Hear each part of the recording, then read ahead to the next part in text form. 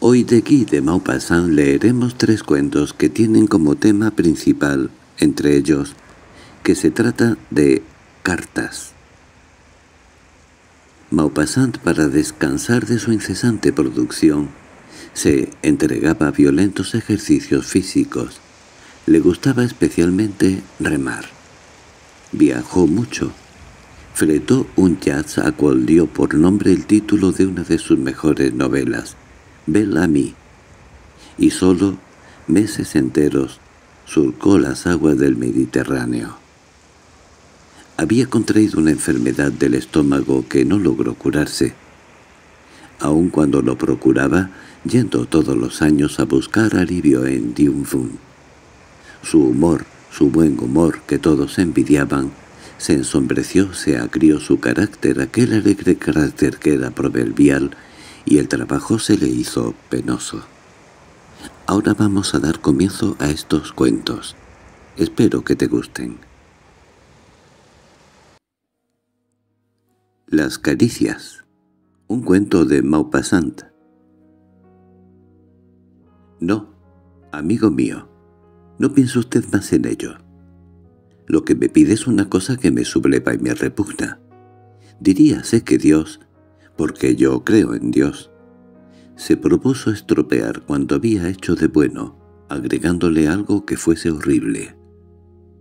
Nos hizo el don del amor, que es la cosa más agradable que existe en el mundo, pero pareciéndole demasiado hermoso y demasiado puro para nosotros, inventó los sentidos. Esa cosa innoble, sucia, indignante, brutal, los sentidos, disponiéndolos de tal manera que pareciesen una burla, entremezclándolos con las inmundicias del cuerpo para que no podamos pensar en ellos sin sonrojarnos, ni hablar de ellos sino en voz baja. La horrible función de los sentidos está toda ella envuelta en vergüenza. Se esconde, subleva el alma, lastima los ojos y, desterrada por la moral, perseguida por la ley, no se realiza sino en la oscuridad como si fuese un crimen. No me hable usted jamás de cosa semejante, jamás.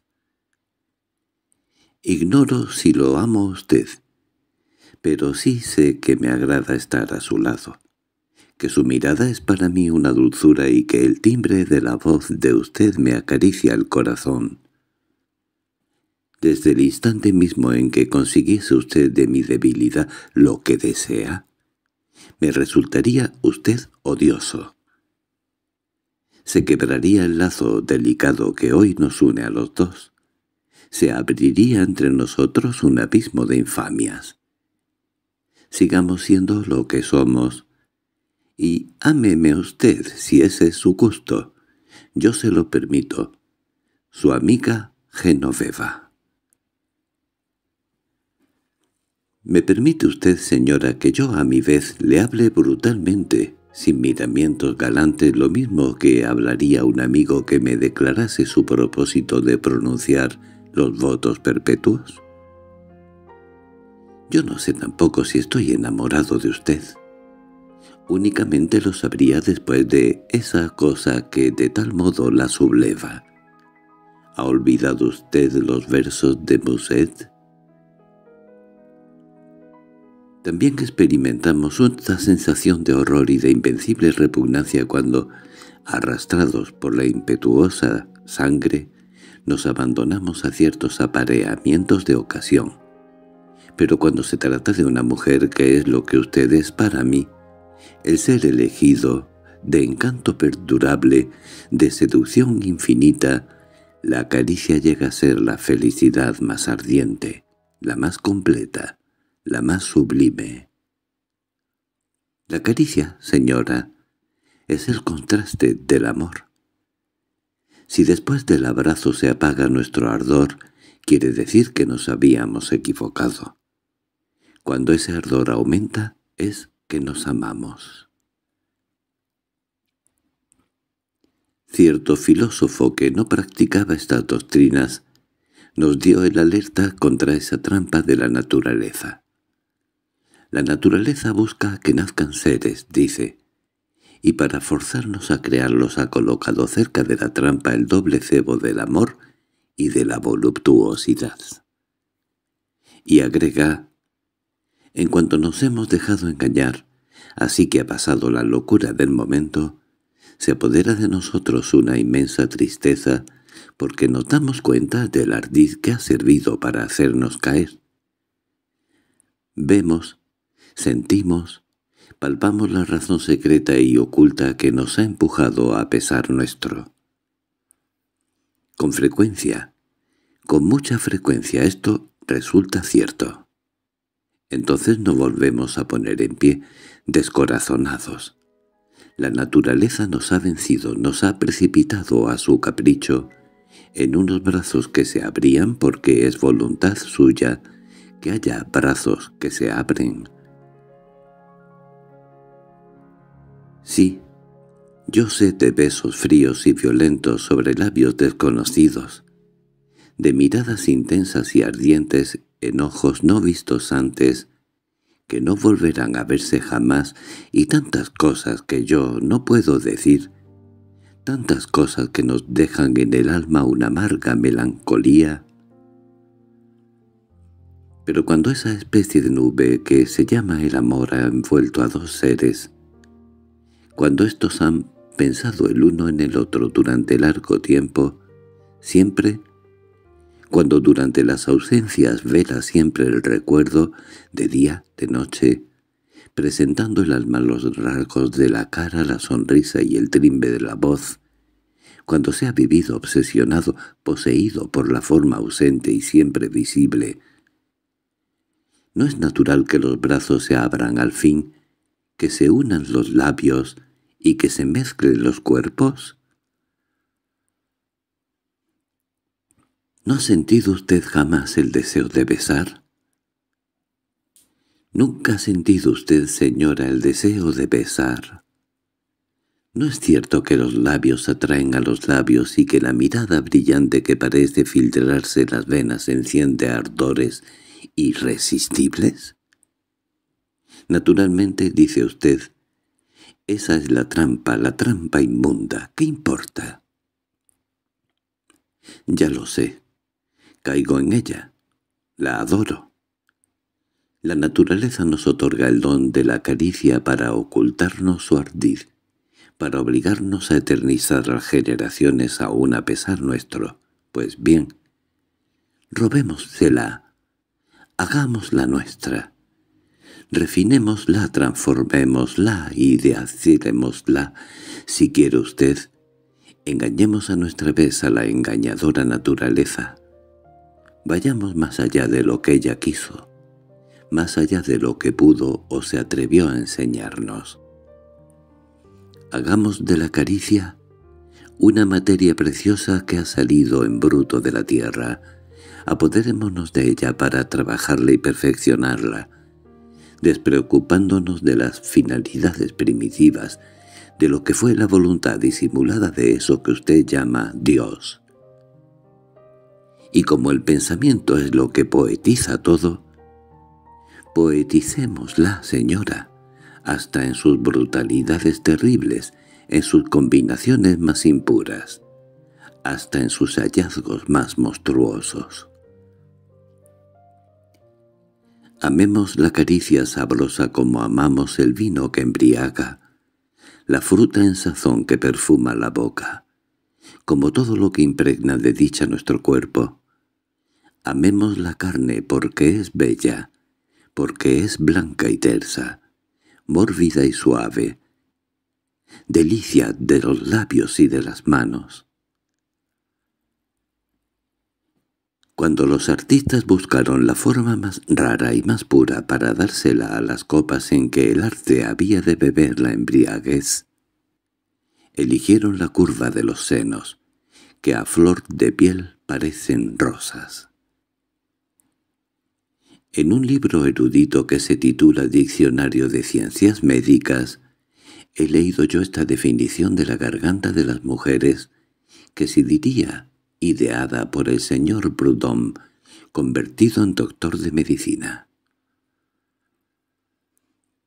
El seno en la mujer puede ser considerado como un objeto de utilidad y de placer al mismo tiempo. Suprimamos, si os parece, la utilidad, y quedémonos con el placer. Si sólo estuviese destinado a suministrar alimento a los niños, tendría esa forma encantadora que invita irresistible a la caricia. Señora, Dejemos que los moralistas nos prediquen el pudor y los médicos la prudencia. Dejemos que los poetas, engañadores, engañados siempre, canten la unión casta de las almas y la dicha inmaterial. Dejemos a las mujeres feas entregadas a sus deberes y a los hombres razonables entregados a sus ocupaciones inútiles.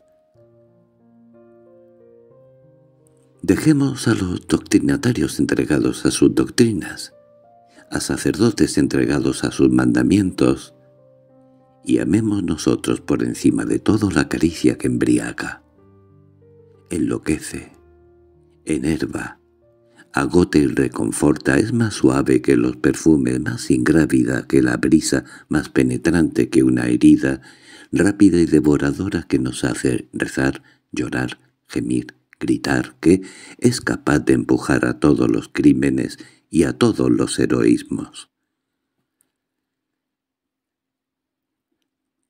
Amémosla, pero no tranquila, normal, legal, sino violenta, furiosa, desatada. Busquémosla, como se busca el oro y el diamante, porque vale más que ellos, puesto que es inestimable y pasajera. Persigámosla sin cesar, y muramos por ella y de ella. Voy a decirle, señora, una verdad que no encontrará en ningún libro, o a lo menos así lo creo yo, y es que las únicas mujeres felices que hay sobre la faz de la tierra son aquellas que no se han privado de ninguna caricia. Estas son las que viven sin ningún cuidado, sin pensamientos torturadores, sin otro anhelo que el beso próximo, que ha de resultarles tan delicioso y aplacador como el último que dieron. Las demás mujeres, aquellas que reciben las caricias con tasa, incompletas, poco frecuentes, viven acosadas por mil inquietudes miserables, por anhelos de dinero o de vanidad y por todas las realidades que se truecan en pesares. En cambio, las mujeres acariciadas hasta la saciedad no sienten necesidad de nada, no desean nada, no echan en falta nada. Ensueñan tranquilas y sonrientes, y lo que para las otras sería catástrofes irreparables, apenas si la rozan a ellas, porque la caricia sustituye a todo, lo cura todo, consuela de todo. Tantas cosas más tendría que decirle. Enrique. Estas dos cartas, escritas en papel japonés de paja de arroz, fueron encontradas ayer domingo después de la misa de una dentro de una carterita de piel de Rusia, debajo de un reclinatorio de la iglesia de la Magdalena. Fin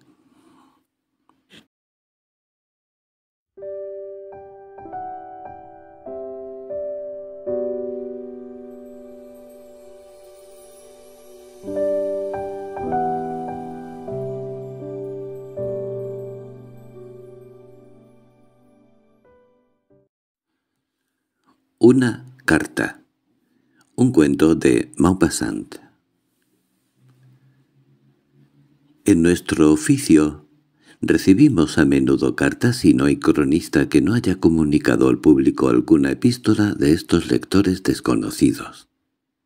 Veremos un ejemplo. Oh, estas cartas son de muchos tipos. Unas nos halagan, otras nos lapidan, Tan pronto somos el único gran hombre, el único inteligente, el único genio y el único artista de la persona contemporánea, como no somos más que un vil hombre, un bribón, innombrable, digno a lo menos de presidio. ¿Es suficiente para merecer estos elogios o estas injurias tener o no tener la opinión de un lector sobre la cuestión del divorcio o del impuesto proporcional? Ocurre a menudo que sobre el mismo asunto recibimos al mismo tiempo las más afectuosas felicitaciones o las reprobaciones más virulentas. Así que es muy difícil, a fin de cuentas, hacerse uno mismo una opinión. A veces estas cartas contienen veinte palabras y a veces diez páginas. Sobra con leer diez líneas para comprender el valor y conservarla o arrojarla al cesto, cementerio de papeles viejos. Por momentos, también, estas epístolas dan mucho que pensar. Así, esta, transmitirla al público, me causa un problema de conciencia. Conciencia no es tal vez la palabra justa, y no hay duda que mi lectora es una mujer la que me escribe. No me supone un grave problema. Yo mismo doy prueba haciendo ver que me cargan de comisiones parecidas de una ausencia de sentido moral que tal vez me reprocharán. Yo me he preguntado también, con cierta inquietud, ¿Por qué había sido seleccionado entre tantos otros? ¿Por qué se me había juzgado más apto que todos para hacer el servicio solicitado? ¿Cómo había podido creer yo que me ofendería? ¿O que no me ofendería? Después pensé que la naturaleza ligera de mis escritos bien podría haber influido sobre el dubitativo juicio de una mujer y le eché la culpa de ello a la literatura. Pero antes de transcribir aquí unos fragmentos, todos los fragmentos esenciales de la carta que me han dirigido, es necesario prevenir a mis lectores de que yo no me burlo de ellos, que esta carta la he recibido por correo con sello en el sobre, que llevaba mi nombre y que estaba firmada, sí, firmada, muy legiblemente. No busco aquí divertir o abusar de los espíritus ingenuos. Yo hago de intérprete, poco escrupuloso, repito, de un deseo de mujer. Este es el documento. Señor, dudé durante mucho tiempo antes de escribirle. No me arriesgaba a confiar enteramente en usted. Sin embargo, creo que usted es bueno, generoso, pero lo que tengo que decirle es tan extraño. En fin, acabo de echar por tierra mi único temor y debía haber sido así. Ante el infortunio siempre creciente, ante la negra miseria no debe haber timidez. La desgracia como el peligro dan entereza a los menos valientes. Ante todo, no vaya a creer, hojeando esta carta, que estoy un poco loca o simplemente exaltada. Tengo mi muy buenas razones, se lo aseguro. En cuanto a mi carácter, en absoluto es novelesco, sino por lo contrario serio y muy prosaico, si me permite decirlo.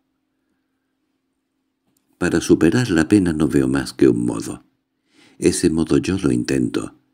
¿No es muy natural y sensato? He aquí primeramente de qué se trata, a pesar de mi pobreza soy honesta y pertenezco a una honrada familia. Todavía soy joven. Acabo de cumplir veintidós años y bien, señor. Le confesaré francamente, desearía casarme y lo más pronto posible.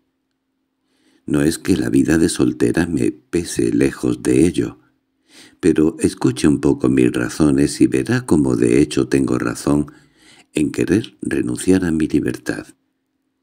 Nuestra familia se compone de... A continuación, unos detalles muy tristes sobre su vida íntima. El mismo rigor de esos detalles me impide transcribirlos, ya que, si cayeran bajo los ojos de los padres de mi interlocutora, esto sería suficiente tal vez para que ellos la reconocieran. Todo lo que ella dice es, por otra parte, muy lamentable y muy creíble. Continúo con la carta. Si yo estuviera sola, No me quejaría, encontraría siempre cómo ganarme la vida. Necesito muy poco para mí personalmente, pero no estoy sola. Debo de cuidar a mi familia. El año pasado conocí a una joven, una huérfana sin ninguna fortuna, que llegó a casarse con un viejo millonario. No apruebo la conducta de esta joven. Tenía 19 años, era muy guapa y un hombre encantador la amaba. Un periodista que ella también amaba, creo. Por ello la censuro y la compadezco al mismo tiempo. Ella ha, sin estar obligada a ello, sacrificado la felicidad por la riqueza. Para mí, ya que no tengo felicidad que sacrificar, nadie me ha querido nunca, también sería muy feliz si encontrar un hombre que quisiera encargarse de mí y de mi familia. Esto es obvio.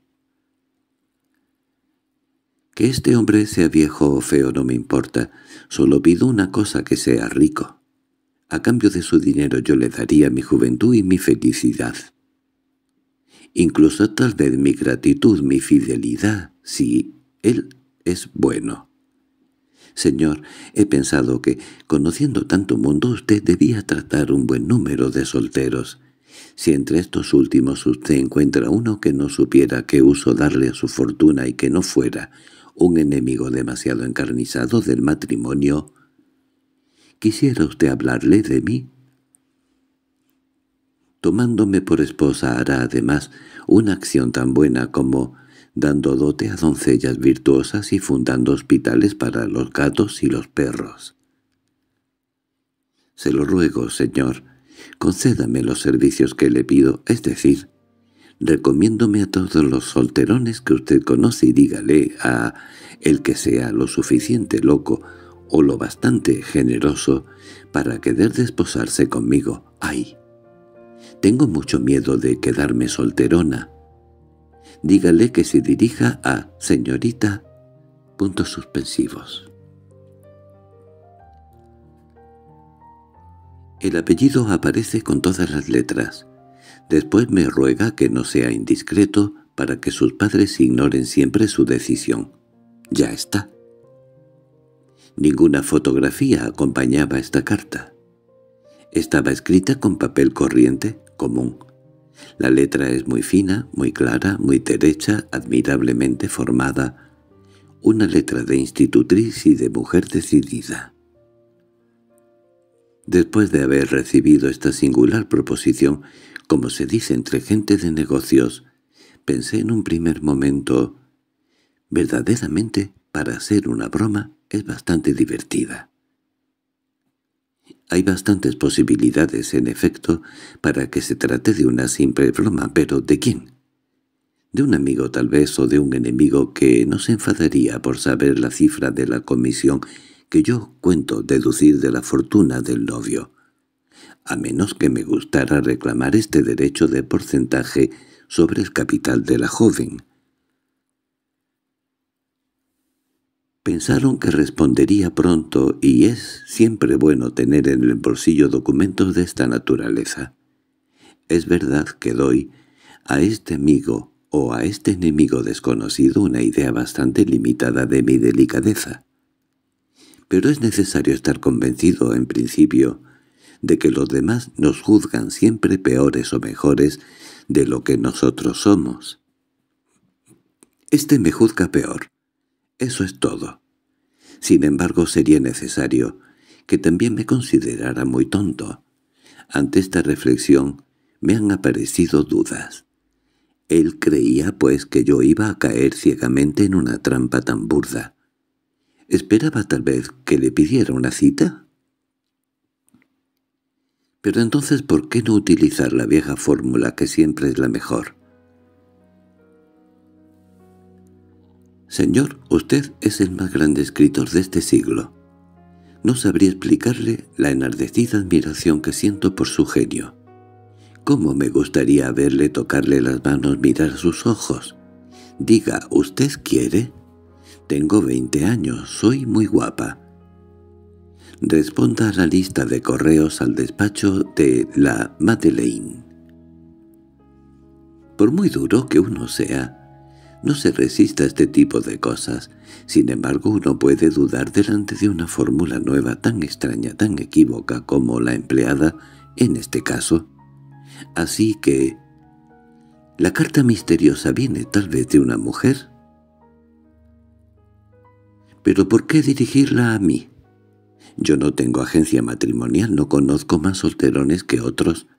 No pienso tampoco en que tenga una reputación de acudir en ayuda de las vírgenes en desamparo. Entonces, si entonces... Tal vez mi interlocutora desconocida haya dado a la palabra «casarme» un sentido mucho más amplio del que se le atribuye generalmente en la burguesía. Eso explicaría todo, en efecto. Pero, Dios mío, este es un encargo muy poco digno. Los agentes de esta naturaleza tienen un nombre especial. Es realmente duro de creer que esta sea la opinión de los lectores sobre las cronistas que les interesan. Una soltera o una mujer joven se encuentra en una situación delicada, busca marido o un amante, no sabe quién dirigirse cuando de repente le asalta una idea. Ya sé, voy a escribir a mi cronista favorito, él me lo encontrará. Él debe de conocer a mucha gente. Y añade mentalmente, y ese tipo de gente tiene muy pocos escrúpulos. Esperen, pues, ustedes, queridos colegas, recibir cualquier día alguna carta de esta naturaleza. Señor, tengo necesidad de conocer una inteligente mujer discreta que no tenga nada más esencial en la vida que traer al mundo niños vivos. He pensado que son sus numerosas relaciones. Y bien, no señorita. Si hay que leer entre líneas su carta yo no puedo encargarme de este trabajo y mis medios personales no me permiten tampoco venir en ayuda de su familia. Pero también es posible que esta pobre chica haya escrito esta carta sinceramente, que empujada por la miseria, no sabiendo ya qué hacer, perdiendo la cabeza, no viendo nadie que pueda ayudarla, se diga a sí misma ¿Es tal vez este periodista un valiente hombre que comprende mi situación y me tenderá la mano? Las mujeres tienen almas tan complicadas, reflexiones tan inauditas, posibilidades tan inverosímiles, impulsos tan espontáneos. Las raíces de sus combinaciones son tan profundas y a veces también sus maquinaciones tan simples que ellas nos desconciertan por su candidez. Verdaderamente es posible, muy posible, que esta joven después de haber leído alguno de estos artículos en los que nosotros parece que tenemos un gran corazón se haya dicho «He aquí mi Salvador». En esta hipótesis en la que me he quedado, no es la más creíble, pero sí la más generosa. Pues he intentado socorrer a mi singular interlocutora y he hecho la misma pregunta a todos los solteros de mi alrededor. ¿No querría usted contraer matrimonio? Conozco una joven que le iría bien. Y todos han respondido, ¿la dote es buena? Entonces me dirigí a los más viejos, a los más feos, a los deformes. Estos hacían ademanes interesantes y murmuraban con una sonrisa. —¿Es rica? Fue entonces cuando me vino la idea. Esperanza suprema y supremo pensamiento, como habría dicho Víctor Hugo, con un llamamiento público a los solteros. No nombro a mi soltera. Nada puede darla a conocer. Permanezco absolutamente discreto y le transmitiré sin abrirlas las proporciones lacradas que me envíen para ella. Veamos, señores, ¿hay alguno de ustedes que tenga un corazón verdaderamente generoso? No importa que sea jorobado, retorcido u octogenario. No puedo hacer nada mejor para terminar que citar la propia frase de mi interlocutora.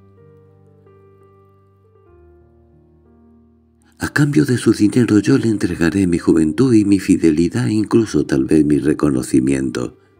Si es bueno, tomándome por esposa hará además una acción tan buena como dando dote a doncellas virtuosas o fundando hospitales para los gatos y los perros. —¡Ánimo, señores! Fin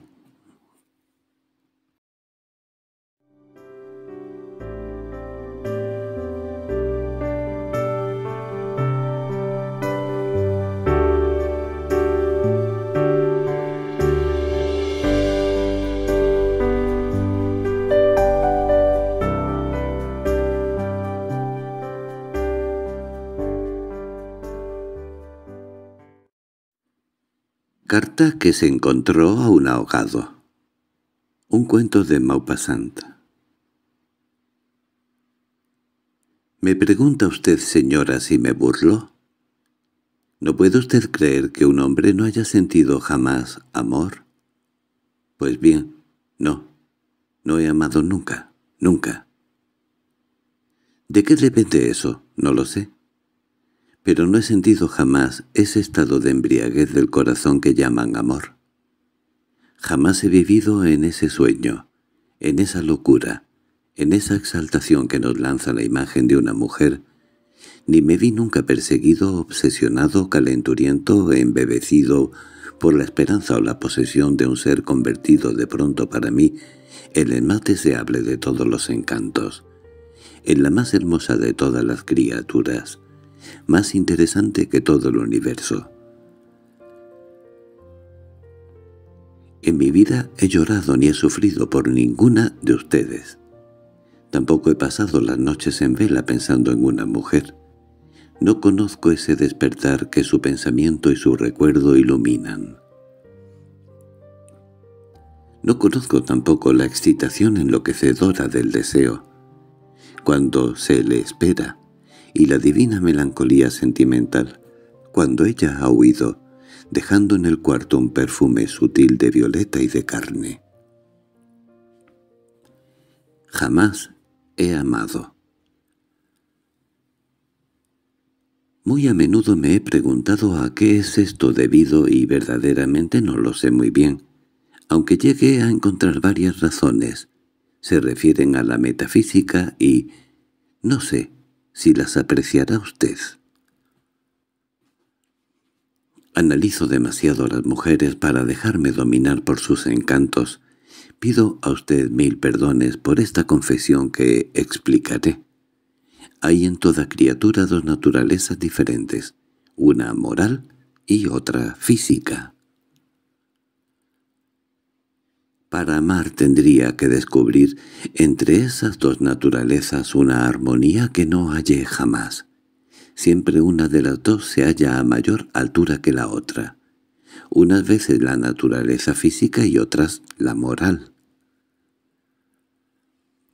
La inteligencia que tenemos el derecho de exigir a una mujer para amarla no tiene nada de común con la inteligencia viril. Es más y es menos.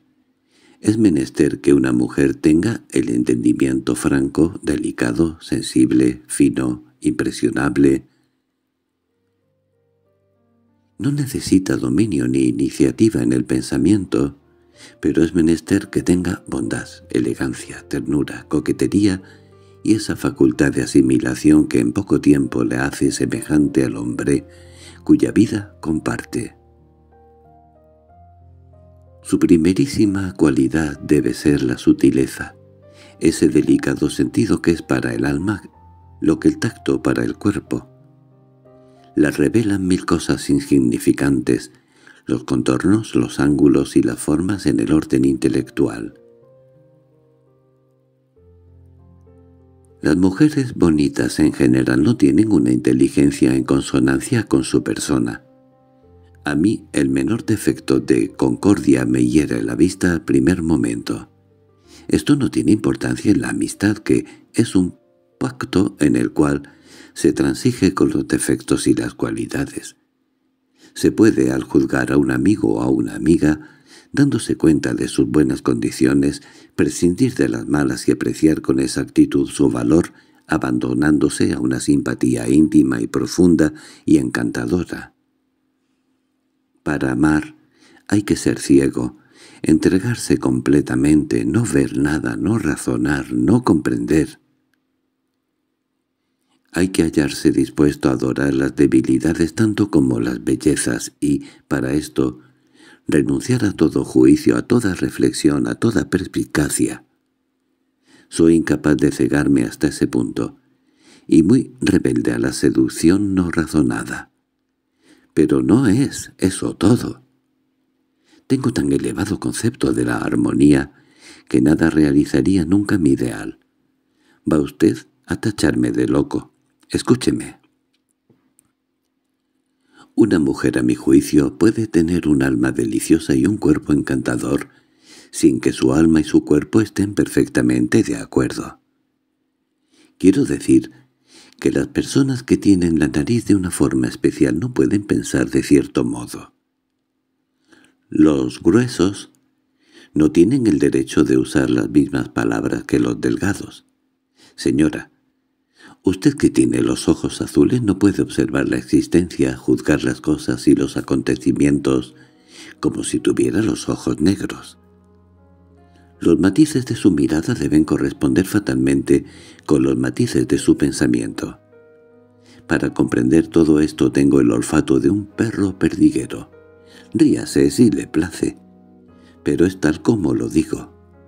Creí, sin embargo, haber amado un día durante una hora. Me dejé dominar tontamente por la influencia de las circunstancias que nos rodeaban. Me había dejado seducir por un espejismo boreal. ¿Quiere usted que le refiera esta historia? Una noche me tropecé con una encantadora personita muy exaltada, la cual para satisfacer una fantasía poética quería pasar la noche conmigo en una lancha, en medio del río. Yo hubiera preferido un cuarto y una cama, pero a pesar de todo, acepté la barca y el río. Estábamos en el mes de junio. Mi amiga había escogido una noche de luna para dar rienda suelta a su exaltación.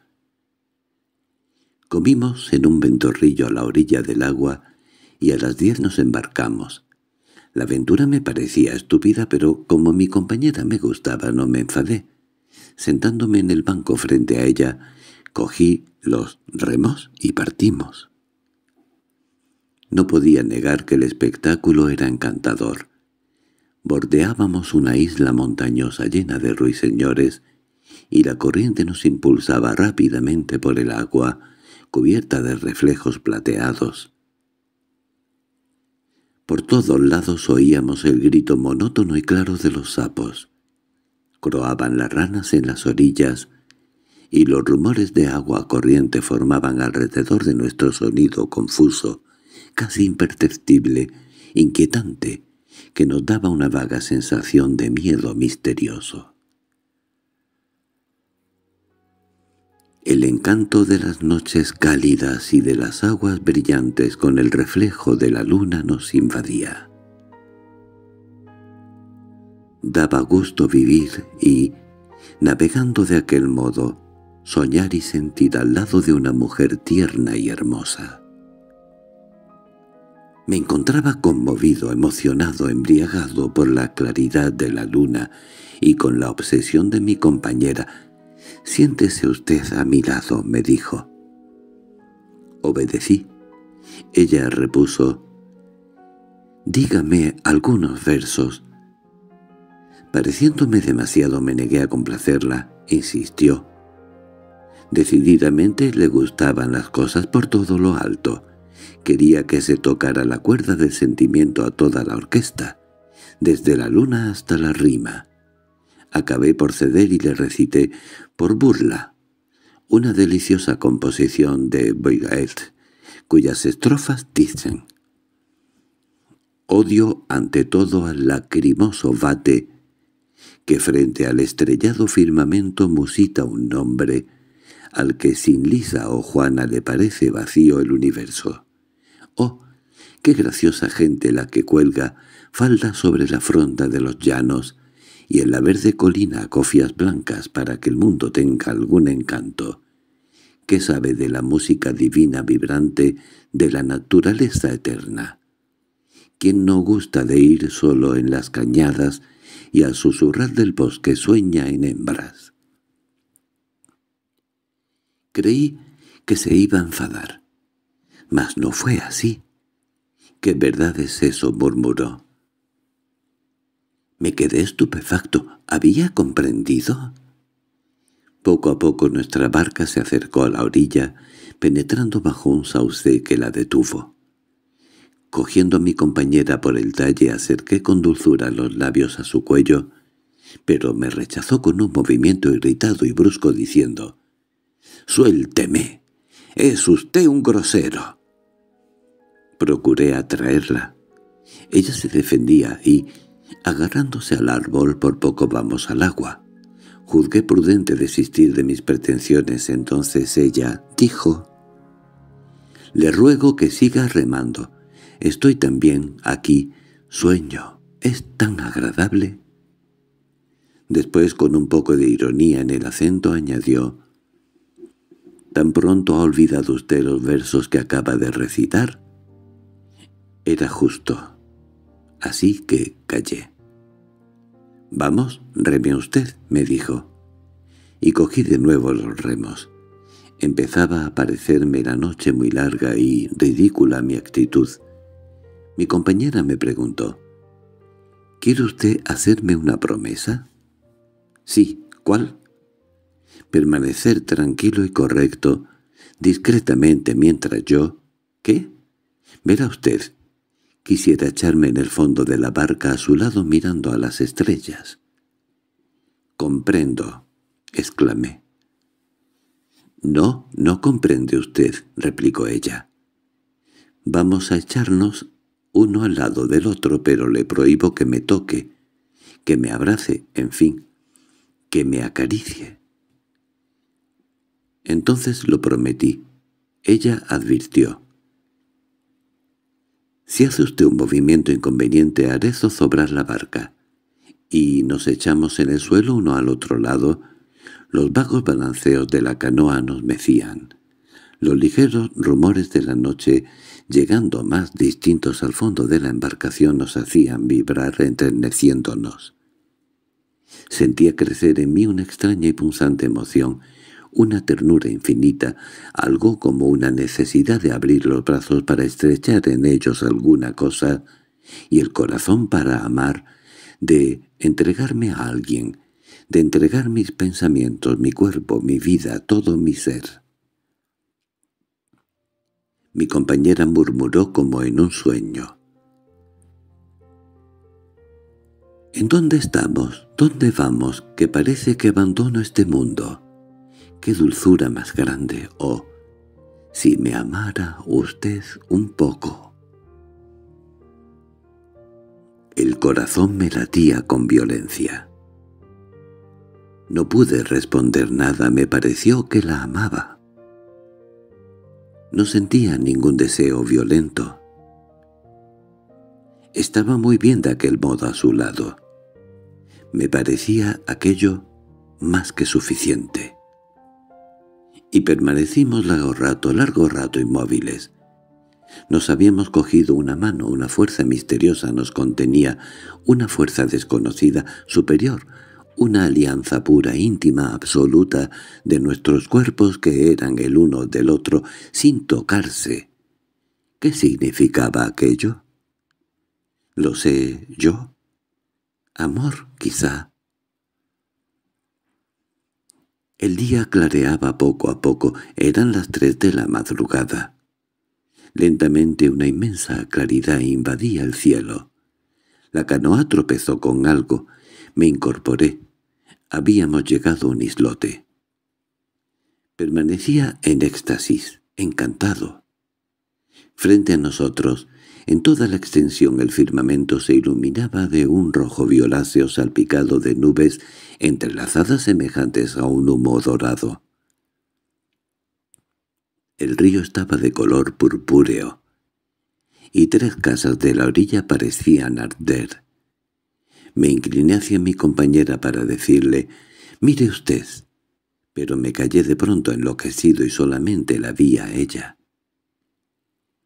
También ella estaba bañada en la luz rosada, un rosa de carne mezclado con un poco del matiz del cielo. Sus cabellos eran de color de rosa. De color de rosa eran también sus ojos y sus dientes, su traje, sus encajes, su sonrisa. Todo era del color rosa, y tan enloquecido estaba que creí tener en la aurora ante mí. Se levantó dulcemente tendiéndome sus labios. Me incliné hacia ellos estremecido, delirante, sintiendo muy bien que iba a besar el cielo. La dicha, un sueño convertido en mujer, un ideal descendido a la humanidad. Pero entonces ella me dijo, «Tiene usted una oruga en el pelo». Y por esto sonreía. Me pareció que había recibido un fuerte golpe en la cabeza. De pronto me sentí como si hubiera perdido toda la esperanza que tenía en el mundo. «¿Eso es todo, señora?» «Es pueril, tonto, estúpido. Desde ese día creo que no amaré jamás. Pero, ¿quién sabe?» El joven, sobre cuyo cuerpo se halló esa carta, fue sacado ayer del Sena, entre Bigaville y Merely. Un marinero compasivo que lo había registrado para saber de su nombre presentó el papel que acabamos de copiar. Fin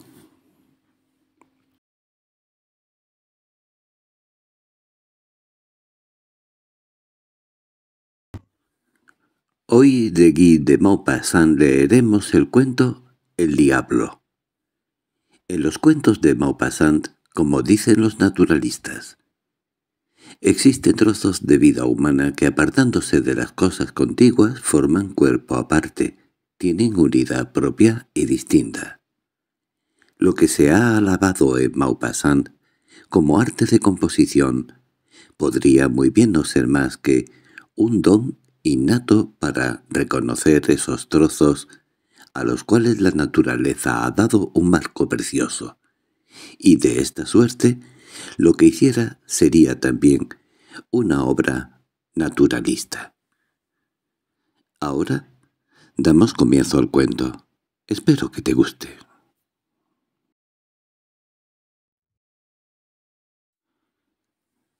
El diablo un cuento de Guy de Maupassant El campesino estaba de pie frente al médico, a los pies de la cama de la moribunda. La vieja, tranquila, resignada, lúcida, miraba a los dos hombres y los escuchaba hablar. Iba a morir. No se revelaba. Su tiempo había terminado. Tenía noventa y dos años.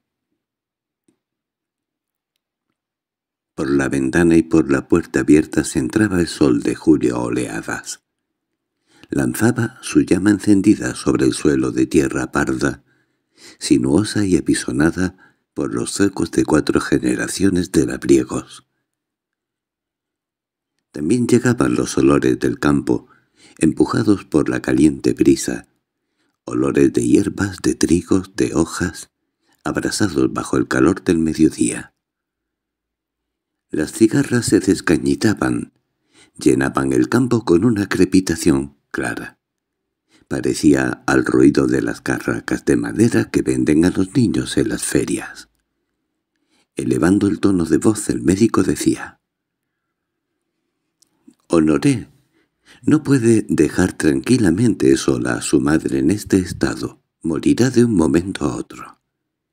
Y el campesino afligido repetía, pero tengo que recoger el trigo. Hace mucho tiempo que está secado. Precisamente hace hoy buen tiempo. ¿Qué dices tú, madre? La vieja moribunda, todavía tenazada por la avaricia normanda, hacía sí. Con el ojo y la frente animaba a su hijo a recoger su trigo y a dejarla morir totalmente sola. Pero el médico se enfadó y dando una patada en el suelo dijo, «No es usted más que un bruto, ¿me oye? Y no se lo permitiré, ¿me oye? Y si se ve obligado a recoger hoy mismo su trigo, vaya a buscar a Rapet Caray y que ella cuide de su madre. Lo exijo, ¿me oye? Y si no me obedece lo dejaré reventar como un perro cuando alguien diga que usted se pone enfermo. ¿Me oye? El campesino, alto y flaco, de gestos lentos, torturado por la indecisión, por el miedo al médico y por el amor feroz al ahorro, dudaba, calculaba, balbucía. ¿Cuánto lleva Rapet por cuidar? El médico gritaba. ¿Por qué tengo yo que saberlo? Dependerá del tiempo que la necesite. Arréglese con ella, caray. Pero quiero que esté aquí dentro de una hora, ¿me oye? El hombre se decidió. «Ya voy, ya voy, no se enfade, señor médico». Y el doctor se marchó advirtiendo. «Ya lo sabe, ya lo sabe, tenga cuidado, porque yo no juego cuando me enfado». En cuanto estuvo solo el campesino, se volvió hacia su madre y con voz resignada dijo, «Voy a buscar a Rapet, ya que se empeña tanto ese hombre. No te preocupes que ahora mismo vuelvo». Y también se marchó. Rapet, una vieja planchadora, se encargaba de velar a los muertos y a los moribundos del pueblo y los contornos. Luego, en cuanto había cosido sus clientes en la sábana de la que ya no debían salir, volvía a coger su plancha con la que frotaba la ropa de los vivos. Arrugada como una manzana del año anterior, malvada, envidiosa, ávara, con una avaricia que rayaba en el fenómeno, doblada en dos como si le hubieran roto los riñones el eterno movimiento de la plancha, paseaba por las ropas, se hubiera dicho que sentía por la agonía una especie de amor monstruoso y cínico. No hablaba más que de la gente que había visto morir, de todas las variedades de fallecimiento a los que había asistido, y las contaba con una gran minuciosidad de detalles siempre repetidos, igual que un cazador cuenta sus disparos de escopeta. Cuando Honoré Entró en su casa, la encontró preparando el agua azul para las gorgueras de las aldeanas. Dijo, «Hola, buenas noches. ¿Le va todo bien, Rapert?» Ella volvió la cabeza. «Así, así, así, así. ¿Y a usted?» «Bueno, yo como siempre. Pero mi madre no está bien». ¿Su madre? Sí, mi madre. ¿Qué le pasa a su madre? Que está en las últimas. La vieja retiró sus manos del agua cuyas gotas azules y transparentes se deslizaban hasta la punta de sus dedos para volver a caer en el barreño. Preguntó con una simpatía súbita. —¿Tan mal está? El médico dice que no pasará de la madrugada. Entonces claro que está en las últimas. Honoré vaciló. Necesitaba algunos preámbulos para la proposición que preparaba. Pero como no se le ocurría nada, se decidió de golpe. —¿Cuánto me llevaría por cuidarla hasta el final? Usted sabe que no soy rico. Ni siquiera puedo pagarme una criada. Es lo que ha puesto así a mi pobre madre demasiado esfuerzo, demasiada fatiga. Trabajaba por días a pesar de sus noventa y dos. Hay pocas de esa pasta. La Rapid contestó en tono grave. Hay dos precios. Cuarenta por el día y tres francos la noche. Para los ricos, veinte por el día y cuarenta por noche para los otros. Vosotros me pagaréis veinte y cuarenta. Pero el campesino reflexionaba. Conocía bien a su madre. Sabía lo tenaz, vigorosa y resistente que era. Aquello podía durar ocho días a pesar de la opinión del médico. Dijo en tono resuelto. «No. Prefiero que me haga un precio. Un solo precio hasta que todo termine. Así los dos corremos el mismo riesgo. El médico dice que se morirá enseguida. Si es así, mejor para usted, peor para mí. Pero si llega hasta mañana o más tiempo, mejor para mí, peor para usted. La veladora, sorprendida, miraba al hombre. Nunca había palabrado una muerte a tanto alzado. Vacilaba, tentada por la idea de correr un riesgo. Luego sospechó que querían engañarla. «No puedo decir nada hasta que haya visto a su madre», respondió. «Venga y véala». Se enjuagó las manos y lo siguió de inmediato. De camino no hablaron. Ella apretaba el paso mientras él alargaba sus grandes piernas como si en cada zancada tuviera que cruzar un arroyo. Las vacas tumbadas en el campo, agobiadas por el calor, levantaban pesadamente la cabeza y lanzaban un débil mugido ante aquellas dos personas que pasaban para pedirles hierba fresca. Al llegar cerca de su casa Honore, murmuró. ¿Y si ya se hubiera muerto? Y el deseo inconsciente que tenía se manifestó en el sonido de su voz. Pero la vieja no estaba muerta. Permanecía boca arriba en su jergón, con las manos sobre la colcha de indiana morada, con aquellas manos horriblemente flacas enlazadas parecidas a bichos extraños a cangrejos, y, encogidas por los reumatismos, las fatigas, las tareas casi seculares que había realizado. Rappet se acercó a la cama y contempló a la moribunda. Le tomó el pulso, la palpó el pecho, la escuchó respirar, le hizo preguntas para oírla hablar. Luego, tras haber seguido contemplándola un buen rato, salió enseguida por Honoré. Ya tenía una opinión formada.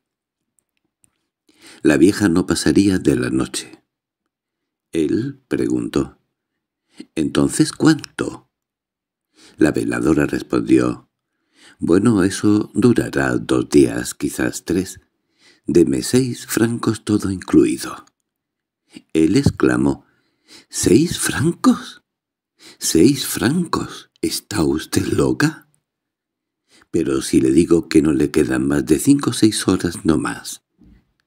Y los dos, enconados, discutieron largo rato. Cuando la veladora iba a retirarse, como el tiempo pasaba, como su trigo no se recogía, solo terminó consintiendo. Bueno, de acuerdo, seis francos, todo incluido, hasta que se lleven el cuerpo.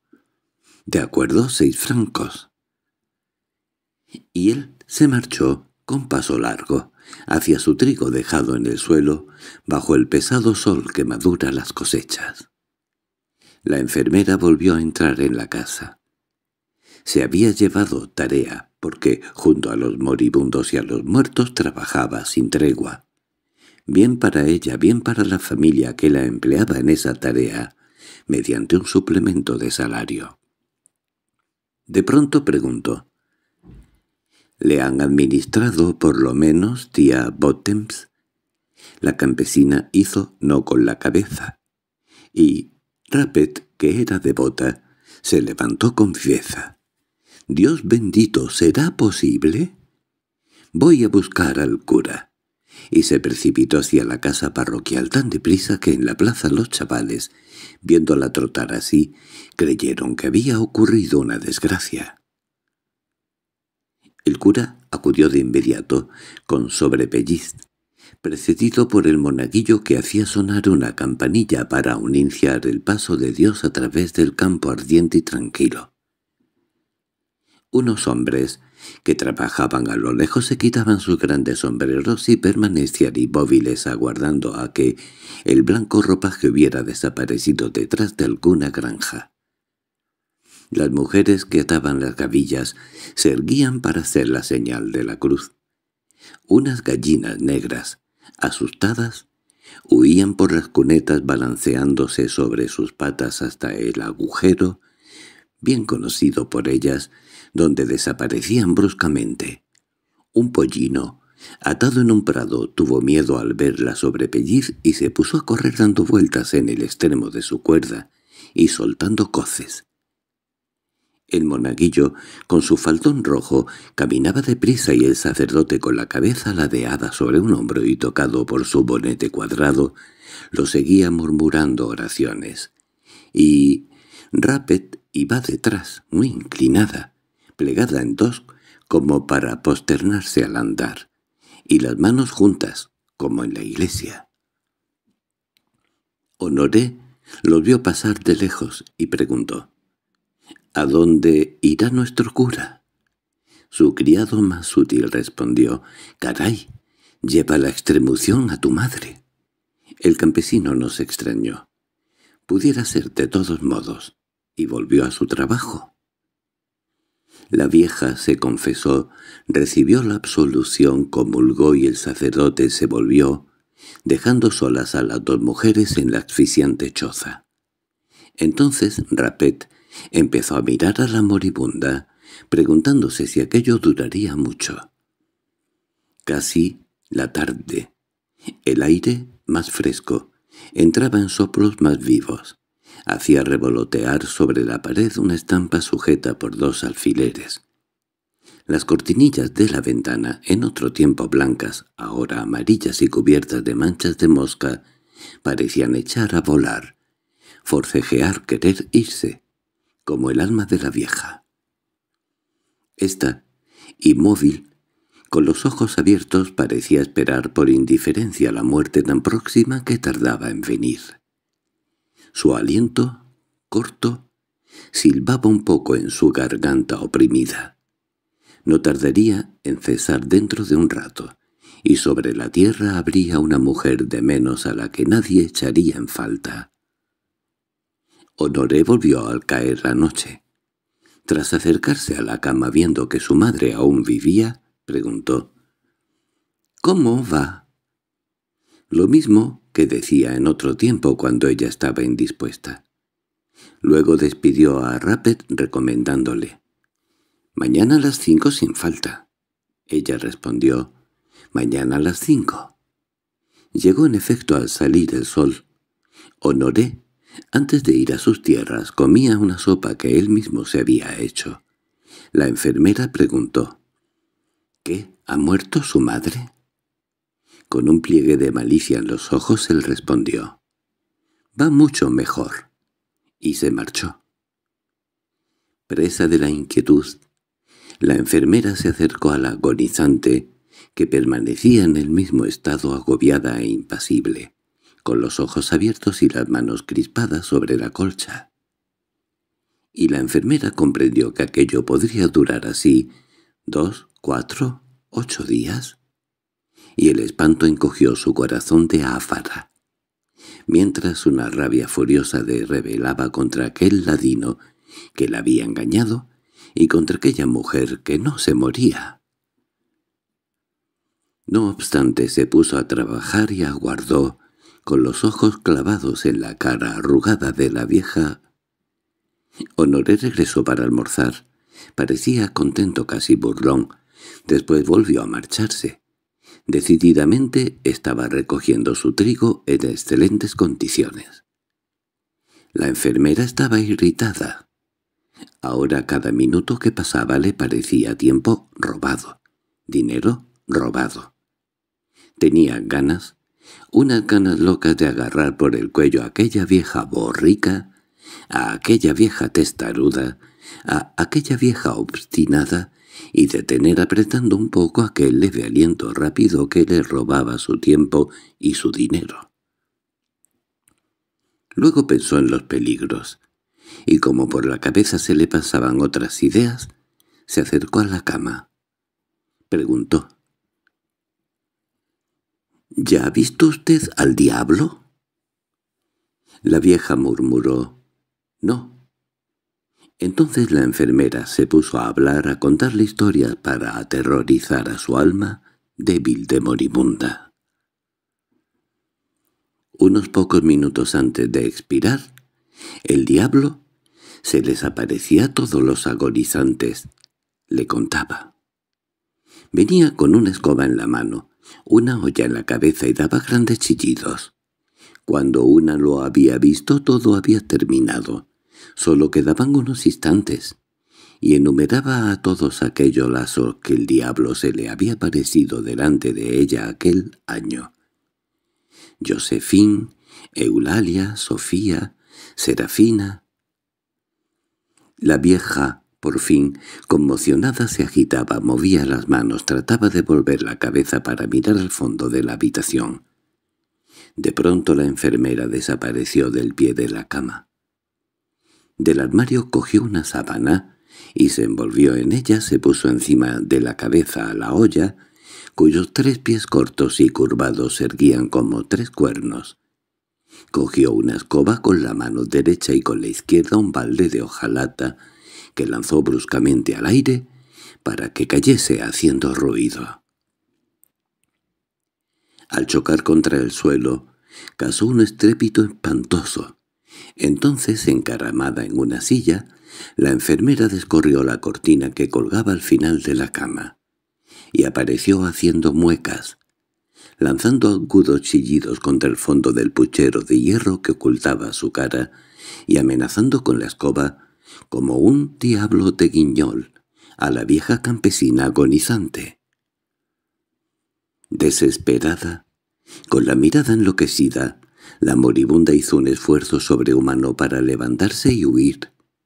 Hasta llegó a sacar de su manta los hombros y el pecho, luego volvió a caer lanzando un gran suspiro.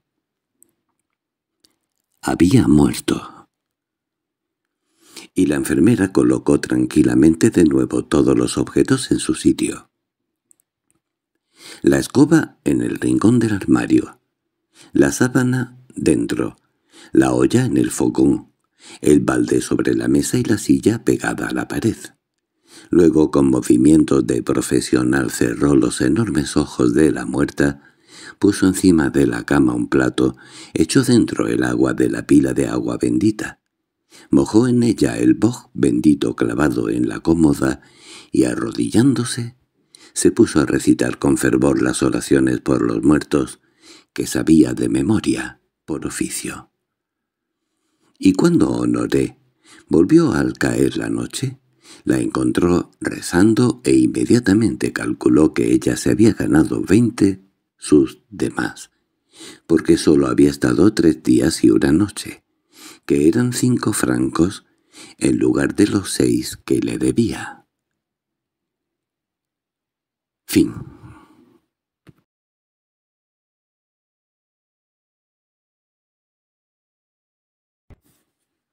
Hoy de Guy de Maupassant leeremos el cuento Adiós. El pensamiento del hombre gira como una mosca en una botella, no comprobando más que fenómenos, tal vez ilusorios y de los cuales al menos la razón de ser se nos escapa. No es, por completo imposible, saber nada, explicar nada absolutamente. El nihilismo intelectual no inquieta en manera alguna a Maupassant, que se arregla del mejor modo del mundo, si su obra, mostrando nuestros ojos la bestialidad primitiva del hombre, puede producirnos una impresión de tristeza, ninguna tristeza queda en él. Ahora damos comienzo a este cuento. Espero que te guste. Adiós. Un cuento de Maupassant. Los dos amigos acababan de comer. Desde la ventana del café veían el bulevar muy animado.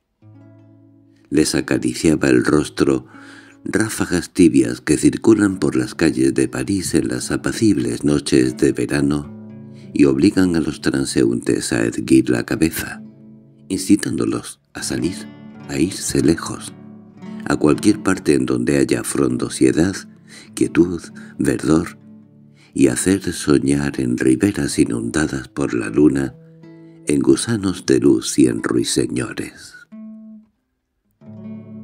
Uno de los dos, Enrique Simón, dijo, suspirando profundamente, «¡Ah! ¡Envejezco!». Antes Hace años, en noches como esta el mundo me parecía pequeño. Era yo capaz de cualquier diablura, y ahora solo siento desilusiones y cansancio. Es muy corta la vida. Estaba ya un poco ventrudo. Tenía una esplendorosa calva y cuarenta y cinco años aproximadamente. Su acompañante, Pedro, algo más viejo, pero también más ágil y decidido, respondió. Para mí, amigo mío, la vejez llegó sin avisarme. No lo noté siquiera. Yo vivía siempre alegre, siempre fui vigoroso, divertido, emprendedor y continúo siéndolo. Como nos miramos en el espejo todos los días, no advertimos los estragos de la edad, porque su obra es lenta, incesante, acompasada y modifica el rostro de una manera tan suave tan continua, que resulta para cada cual imperceptible. No hay en su labor transiciones apreciables.